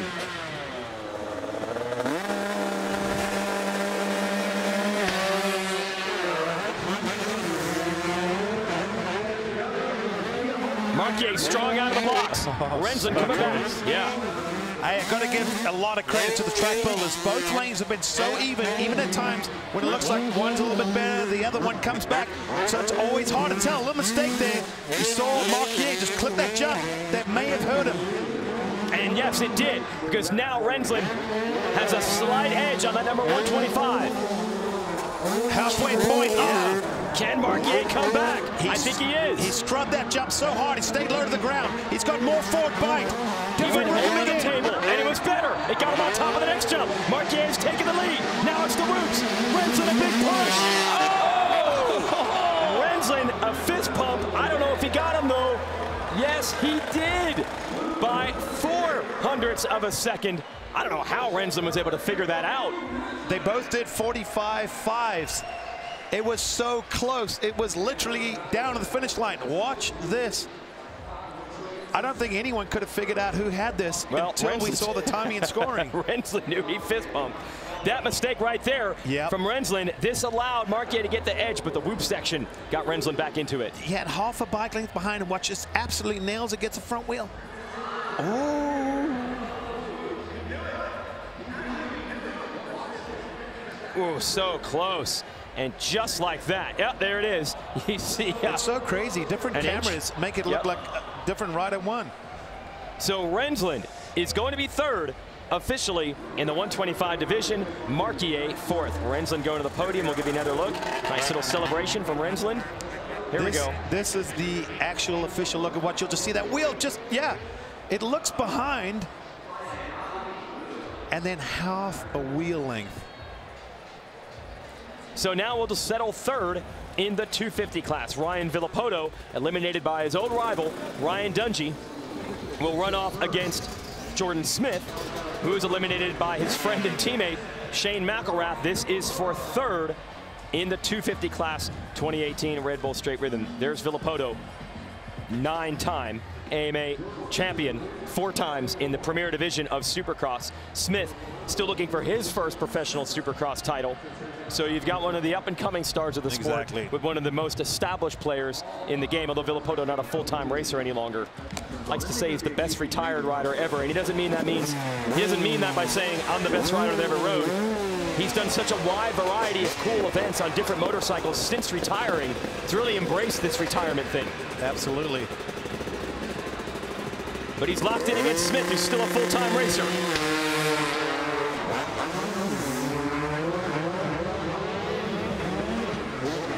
Little lead to the first jump for Villopoto. Not much in it at all. And I think Smith maybe has erased that gap and taken the number one spot away. Oh, they were so close coming into that. Once again, still so close. Side by side. Like you said, Smith with maybe a wheel length over Villopoto. They come to the halfway point. Smith just ahead now, opening it up to a bike length. Does Villopoto have anything left in the second half of the track to try to get it back? I think he does. Villopoto strong here. Oh, he made a little bobble there. Did that hurt him? Just a bit. But he's still strong in the works. Watch. He's close enough. Gets the power to the ground. Here, he comes. And I think Goldie dug it out. Did he get it? Huge run through the whoops, and he got, got it. it from behind. The crowd is still trying to figure it out. The whoop section, Villopoto, what a run, and he gets the win over Smith. Well, the credit for Villopoto is he had a huge bobble and he somehow minimized the damage to say close enough. Watch this. This is that tabletop section. They'll hit the little checkpoint. They scrub it. You can tell that Smitty has the advantage over the double. This is the halfway point, the tunnel jump. Scrub right here. Then Villopoto, you see, he got the power of the ground really good. I thought that little bobble hurt him, but then he went over that table, drove off this thing, brought him almost back level, and then watch, get the power to the ground and watch that through the whoops. You don't win four Supercross championships, folks, for nothing. RV just showing the boys why he's one of the legends of the sport. I remember a couple years ago, Chad Reed went on Twitter and said, Kids can scrub, real men ride whoops, and Villopoto just showed oh. that whoop speed is still there to come from behind on Jordon Smith and get the win in the first trophy race between them. This is for third overall in the night. They'll have to go back to the line and do it again. Isn't it fitting that we're at a horse race track because every finish has been a photo finish, just like at the horse races. Unbelievable and we'll lock in again Smith against Villopoto. Man, Smith probably saying, geez, guys in race professionally in almost five years, but can still do some whoops. Jeez. What do I got to do? He probably thought, I mean, he had the lead with maybe 50 feet to go. Yeah. Well, with the naked eye, we could see Villopoto just got that rear wheel down the ground. I call them the speed checks because you have to brake really hard, soak it up, and then try and get that rear wheel on the ground because it's a ramp downhill. It helps you carry momentum into that next section, and that helped Villopoto through those technical whoops. Villopoto, by the way, retro bike build for him based on a uh, probably a 1989 to 90-ish Yamaha. So here we go, Villopoto against Smith.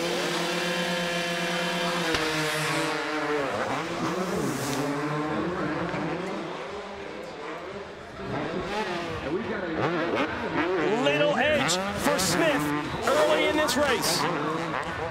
They switch lanes. Villopoto on the left side. Now Smith on the right side. Oh, Villa Smith all the way over the top. Yeah, and Villopoto clipped that, but they both even out. Little mistake from Smitty. Villopoto pulled up alongside. Smith still able to hold the edge. Did Villopoto have something like he used in the first race to come back?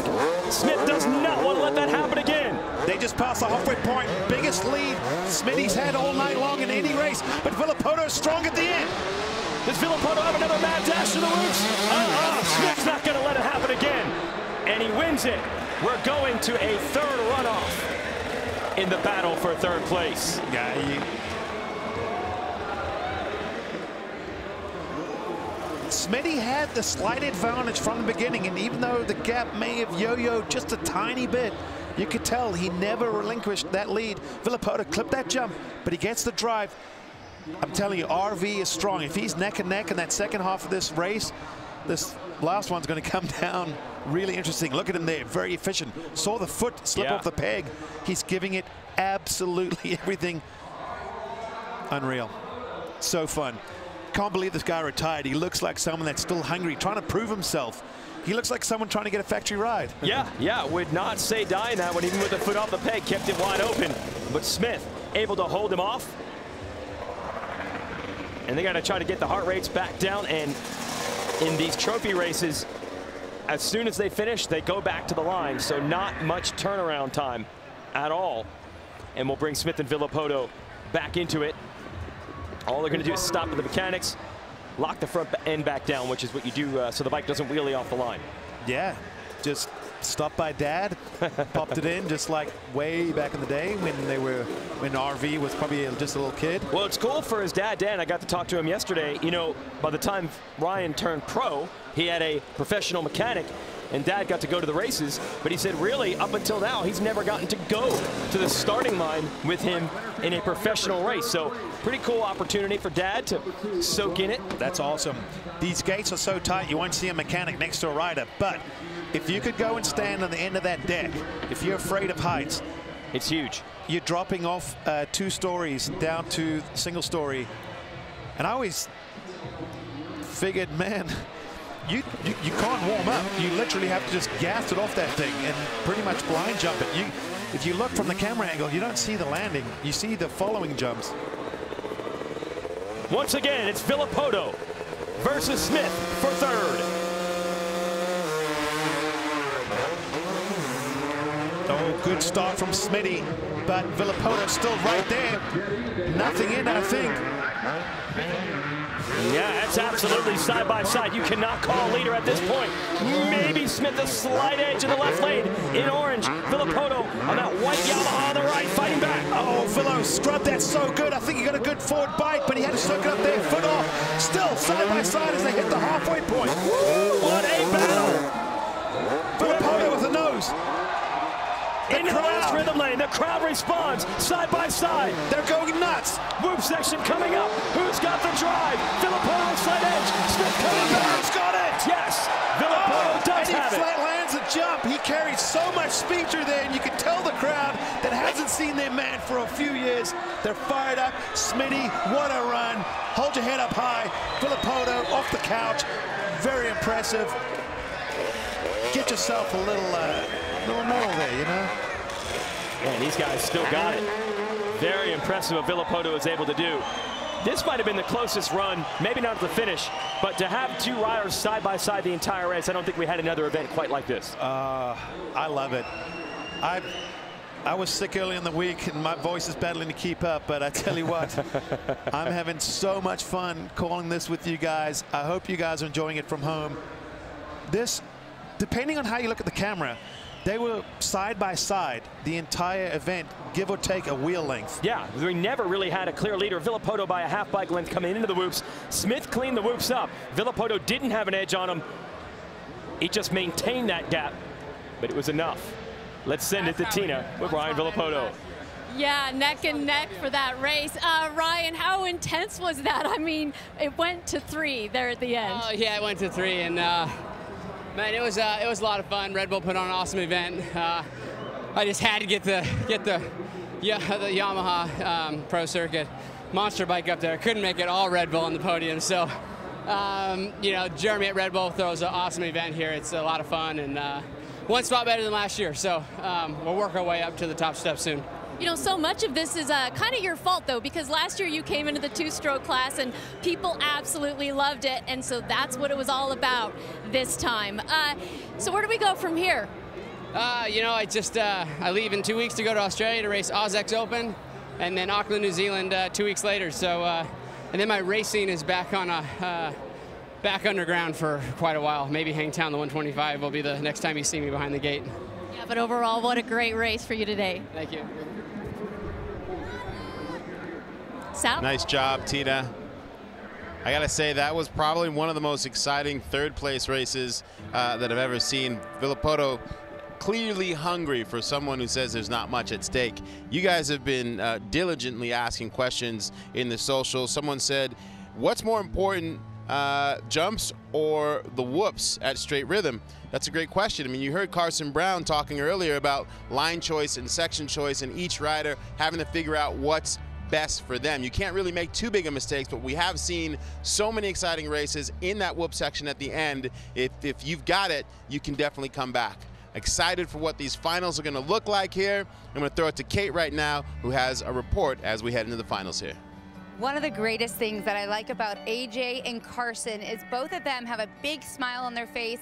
Both of them are both wide-eyed for what's going to happen here in the final. Interesting to note about AJ. He came in here looking to have fun. I just talked to his team and they said coming to straight rhythm was just an idea they had as they were walking down the sidewalk. Then all of a sudden they get the tribute bike involved. Then they come here to practice and preview day and it's like AJ can't conceptualize how to even understand this track. Then he worked through fears and now he's in the final. And for him, I think this whole event has been a big win. And then you take Carson, who's a guy who's just stoked to be around his the, these legends. He's young and he doesn't have much expectations, but to go out and have fun. And really, guys, this is what it's all about. Yeah, no doubt about that, Kate. So Carson Brown getting to get around the names that he grew up watching and maybe make a name for himself in a way.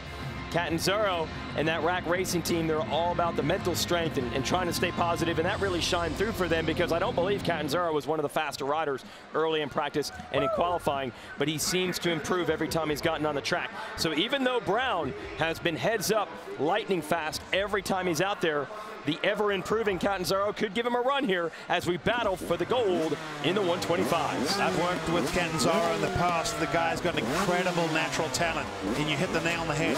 He needs to believe he can get this done. Carson Brown's been riding strong all night long.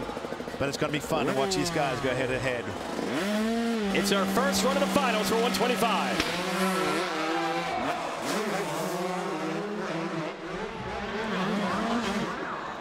Little lead for Carson Brown early.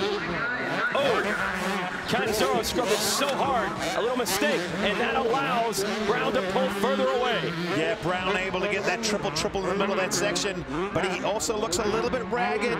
Couple little bobbles there, but Catanzaro not close enough to capitalize at this point.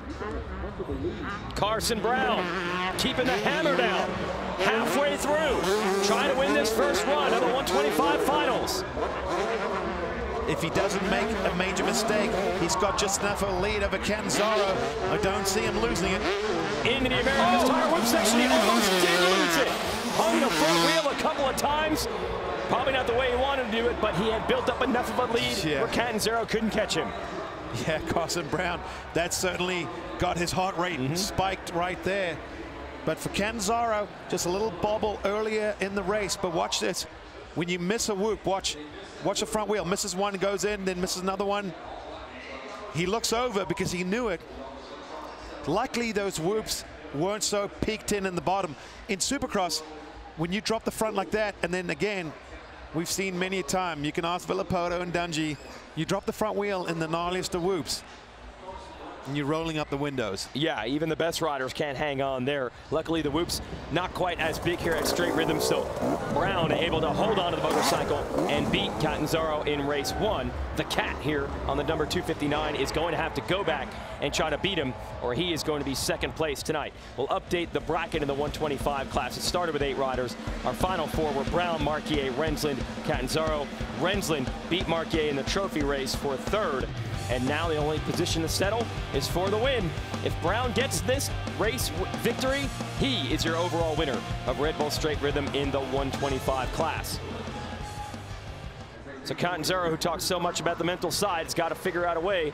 Fight the demons, stay positive. Yes, Brown had the edge on him timing-wise. Most of the time they've been on the track. He got the edge on him this time when they were at a head-to-head. -head. Let's see if Catanzaro can figure something out. He was down one to nothing to Renzland in the semis and came back to win the next two races to eliminate Renzland. Well, whatever you thought about last time, do the same thing. Repeat what you did. Do not make mistakes. Hit your lines, and you'll put yourself in a position to win. It's so close, it comes down to who doesn't make the bigger mistake. That's a beautiful motorcycle that Catanzaro is riding. They think it's about $30,000 into it. He got to borrow it for the night. Will it be a race-winning motorcycle, or will Carson Brown's Husqvarna be the top 125 here at Straight Rhythm? Let's go racing.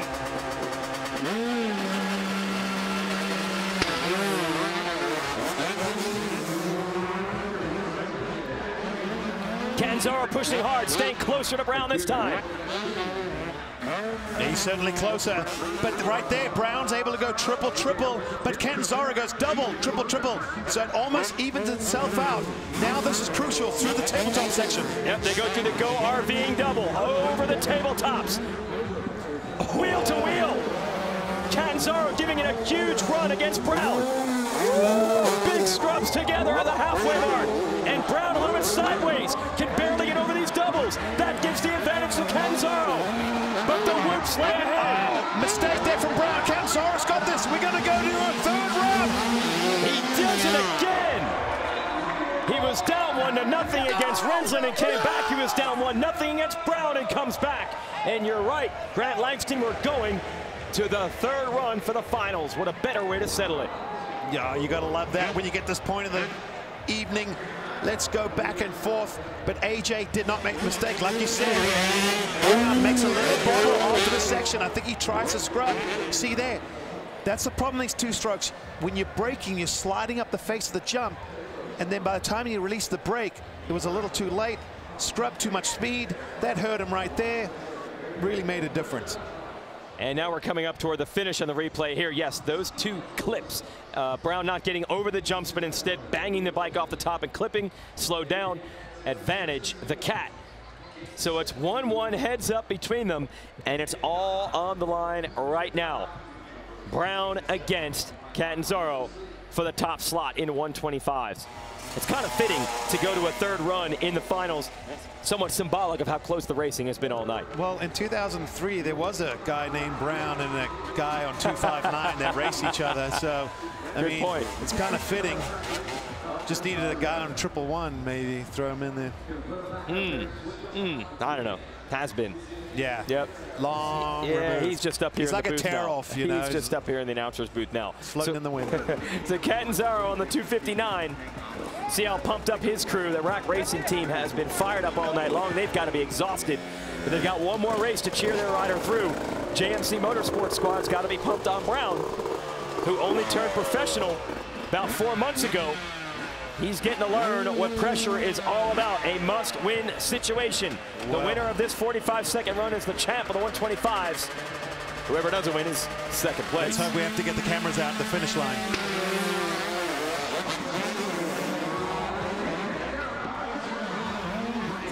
Brown, a slight edge. That Kia hole shot. Canzaro has a different rhythm through this section. Not going to pay off this time. Brown with the early lead. Oh, Catanzaro overjumped that first jump. He's got to get this clean if he has any hope. He does get it clean. It brings him right back in the mix. Yeah, good recovery from the cat. But Brown, a big scrub to the center to maintain the slight gap that he has. Catanzaro still there. He's only about a half bike length behind. Little bubble there from Brown. It's going to come another whoops. Here it is. Who's got the speed to the whip section? A good run from Catanzaro. He closed in, but not enough. Carson Brown is your winner of Red Bull Straight Rhythm in the 125 class. Catanzaro had a run through those whoops. And we've said it all night long. If those whoops were a little bit longer, it could have changed the outcome of several events. Watch this. AJ gets a drive down. Watch, he comes from two bike lengths behind to watch. Oh, Brown looked over. See after the finish line. I think Catanzaro Brown had it. was afraid that he had been edged out there. He almost looked disappointed, but he does get it. He looks over, sees the gap closing, and puts the bike on the ground to try to get maximum traction. One wheel length, once Mhm. again. But then, like I said, when you watch them land, Catanzaro was ahead. So that finish line, if you moved it up 10 feet, that could have changed things a little bit. But wow. Oh, that was spectacular, but Carson Brown. Team is pumped. That's the power of positive thinking. Even when they finish second, they're fired up. Let's send it to Tina with our winner.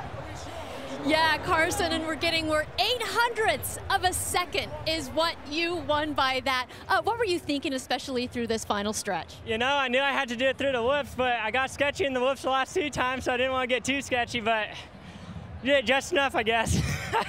I, I mean, I rode like crap during the last bunch of them, and just I don't know what my deal was, but we made it happen. So I'm so pumped. I mean, 125s on, only in two-stroke day. I mean, how does it get any better than that? I mean, Jensen Hendler got my bike freaking ripping, and uh, you know, the whole JMC guys and Fly and BBR, man, I can't thank everybody enough. It was unreal. It was fantastic racing. Congratulations. All right, Weege. Yeah, thanks, Tina. It has been a grand celebration tonight of the two-stroke experience and really harkening back to the 90s, which is the last decade that the two-strokes really owned in the sport. A laid-back time, a fun time. Certainly there were races to be won and big checks to be cashed, but it was a little bit looser and more laid back than racing is today, and that's what we're celebrating. The 90s You could cooler. tell them describing. Yeah, That was like, yeah. hey, I was through the whoops. Yep. Let's get talk about the 90s. We're cooler.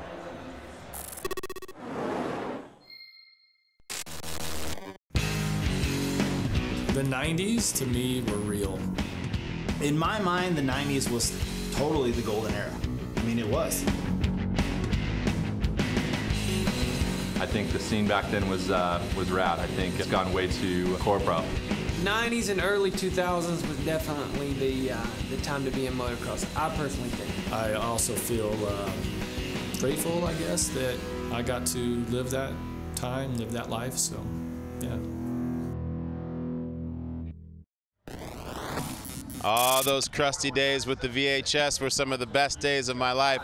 Unbelievable how far we've come 20 years later. And everyone that is tuned in right now, fired up for this final here at this fifth straight straight rhythm. Who is it going to be? I'm going to throw it down to Weigandt right now. So our final is set at Red Bull Straight Rhythm. Ryan Dungey taking on Shane McElrath. So it's one of the best racers from now against one of the best of the recent past. Ryan Dungey is probably on the all-time Mount Rushmore for this sport. But in the middle of 2017, he's retired. McElrath has been getting better and faster and faster and better ever since. Going to be hard to pick a winner in the finals. Let's send it to Kate. First time in the big class here at Straight Rhythm, and Shane McElrath knows what he is up against. It's Ryan Dungey. Last year on the line, you said you have to focus and get a little angry. How much of that advice are you taking right now?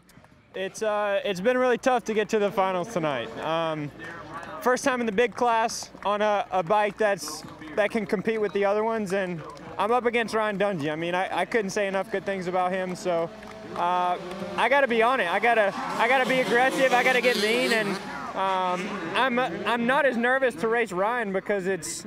I mean, I, I don't know why, but I don't like getting beat by Jordon Smith, and I know he's the same. Um, but we're in the finals, and I want to do everything I can to beat Ryan.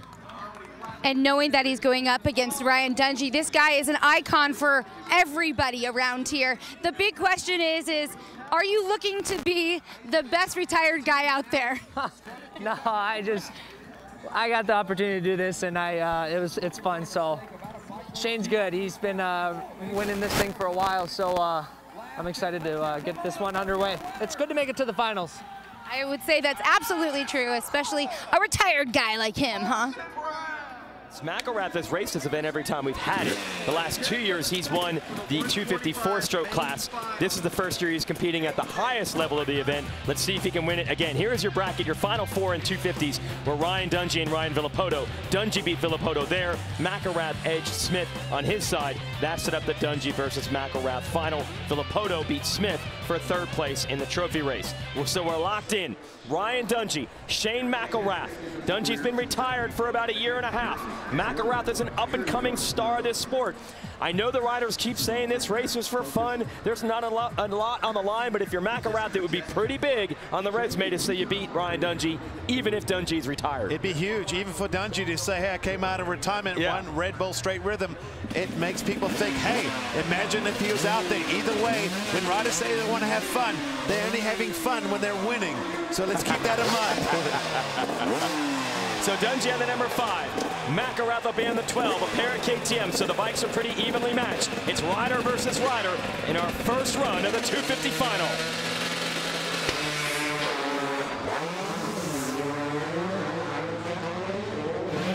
Little lead for Dungey as we get to the first rhythm lane. Dungey does have a slight edge. McElrath is still right there. These riders almost look like carbon copies side by side. Almost reminds me of a Dungey Musquin battle from a few years ago. But still nothing in it as they head the, to the halfway point. Absolutely side by side. How can you pick a winner at this point? It's dead even. Who can execute this final set of jumps? Key word, execute. Be patient yeah. You got to get there clean. McElrath with a rush to the whoops to try to get it. Oh! McElrath from behind. I think McElrath it. got it. Yes, he did. The crowd, they don't even know. They're listening. Incredible. Woo! McElrath that is three hundredths of a second. That might be the closest race we've had thus far, and they were equal all the way down this track. It is so hard to call it at this point. We just know it's exciting. They're giving it everything, trying to soak it up, drive everything they can. Hard on the brakes there, hard on the gas and the clutch. Get your weight back, get up through the gearbox. And look at that, McElrath came through and another wheelie across the finish line. Yeah, you're right. I'd say it was probably the last 10 feet. Yep. He pulled back away from Dungey. And by the way, that is the fastest run of the night for McElrath. That's what it took to beat Dungey. That is also very brave, wheeling, dropping the front wheel into the face of a big double.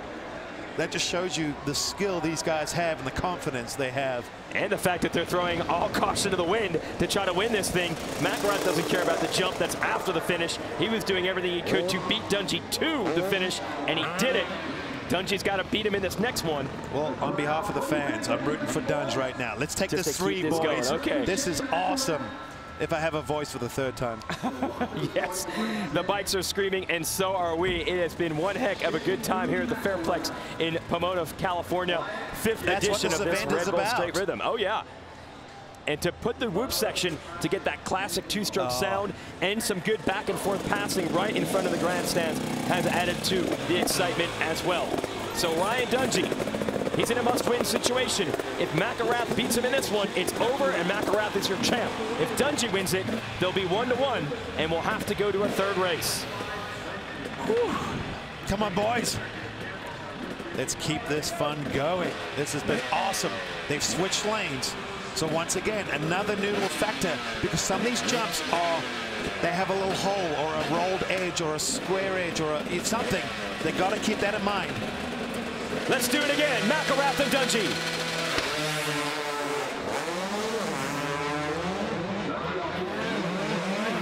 Little edge for Dungey off the line. McElrath on the number 12 trying to come back. Oh, this is so close. Once again, they look almost like a carbon copy, but you're right. Dunge has a slight lead this time around. Unlike last time where it was too close to call, but once again, McElrath closed up a little bit as they hit the halfway point. This is where it really comes down to who can nail this last half of the track. McElrath's still fighting, but Dungey has been perfect throughout this run. He gets through the final jumps. Now into the whoops. Can he hold McElrath off? Look at Three! Just what the fans wanted. They are, well, there's no one in the stands anymore. They're all up against trackside, up against the fence because, well, they want to be right there. They love the smell, the sound. What an incredible run. Dungey, beautiful throughout this run. McElrath had his moments, but Dungey never made a mistake. Oh, he, Dungey, typical Ryan Dungey. This is how he won all his professional championships. Not always blindingly fast, but so consistent. Never makes a mistake. He looks like he never even got off the couch. Old, what's it? Old Dungey. Al Dungey, yeah. Man. Looks like the same Ryan Dungey that was a Supercross champ just Well, over a year ago. Stick to riding dirt bikes. No need to go selling shoes right now. You've got this, Al Dungey. That was incredible right there. Well, his old rival Ryan Villopoto called him out, put the Instagram post out and said, Al Dungey, get off the couch before you're married with children and come race with me. Dungey answered the call, beat Villopoto in the semifinals. He beats McElrath in one of these final races. Now it all comes down to this. McElrath and for it all. A.k.a. Ryan. And there's the post we were just talking about. Villopoto with the Instagram post. Got the Photoshop of Ryan all on Al, on, uh, Al Al Bundy, Bundy. growing yeah. up. I Yep. mean, even in South Africa, I was a big fan. Yes, that got Dungey fired up. He said, "Mm, all right, I'm going to do it. I'm going to straight rhythm. Villopoto is waiting for him. They put on quite a show battling each other earlier in the night in the semis. Dungey gets the edge, but that wasn't for the championship. He's got to beat McElrath here to get it. McElrath, no slouch, winning this race in the 250 four-stroke class the last two years. We're not letting four-strokes race this event anymore. He has to adapt to the two-stroke. Can McElrath beat Dungey for the win? It literally comes down to this, as we've said before, but this is it. One to one. This is the final of the finals. Oh, Weege, who you got? Never ah, That's too hard to call. Dungey and McElrath, let's let him rip on the two strokes one last time.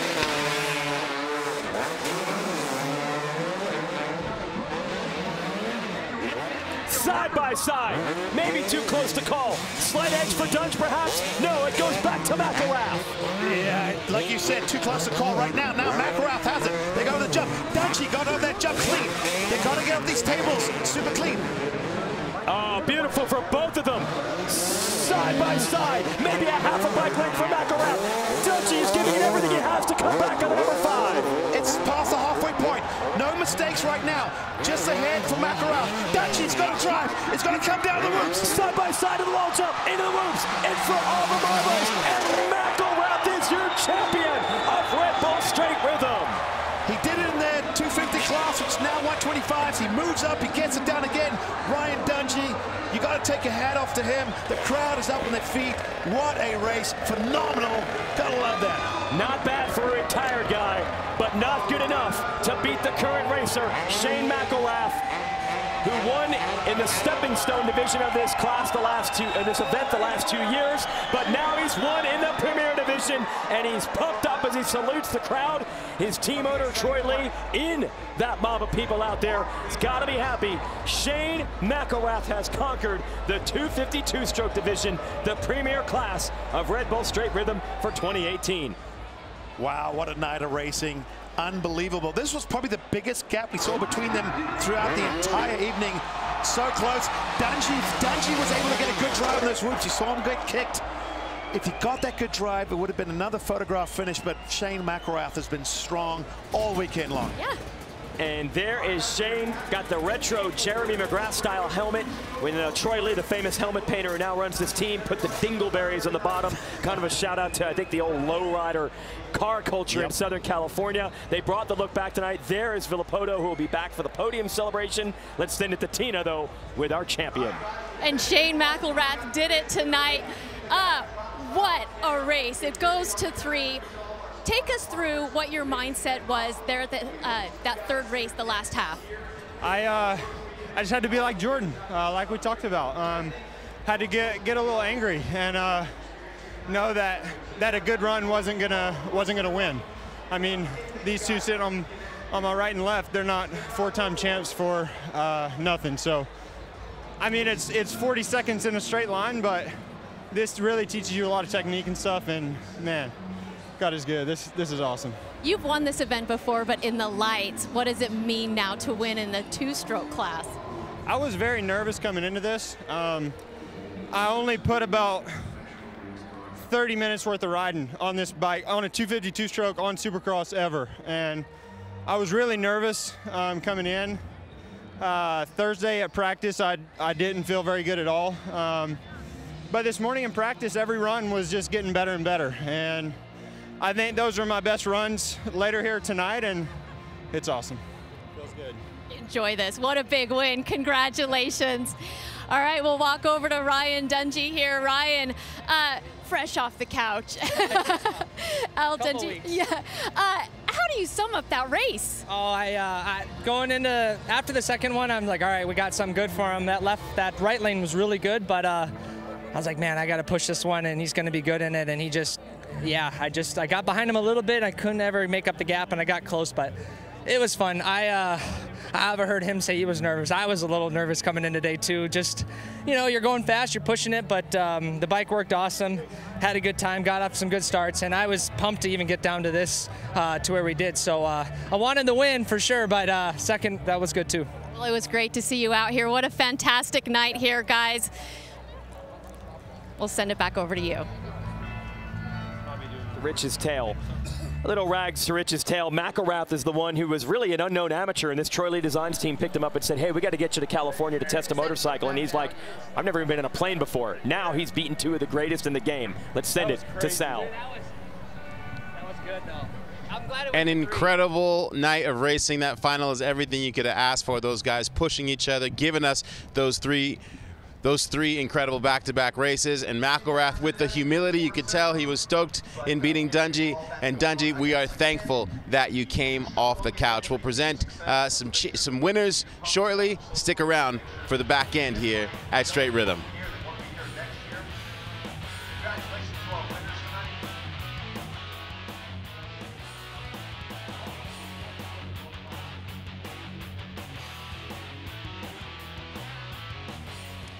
And there you see, still stoked, can't stop smiling. Shane McElrath, the 2018 Red Bull Straight Rhythm champ. Also, congratulations to Carson Brown in the 125 class. And hey, how about those two strokes? Hey, the real stars of the show. An incredible day here at Pomona. And you know what? We go from Straight Rhythm straight into the Big Daddy Red Bull Rampage, the biggest and most challenging freeride mountain bike event in the world. The ultimate combination of tricks and aesthetics. It takes place live in the desert of Virgin, Utah. The only contest where the riders build the lines from a blank canvas on the mountain. I am heading from here straight there. Make sure you watch it live on Red Bull TV. On behalf of our entire crew, we will see you at Rampage.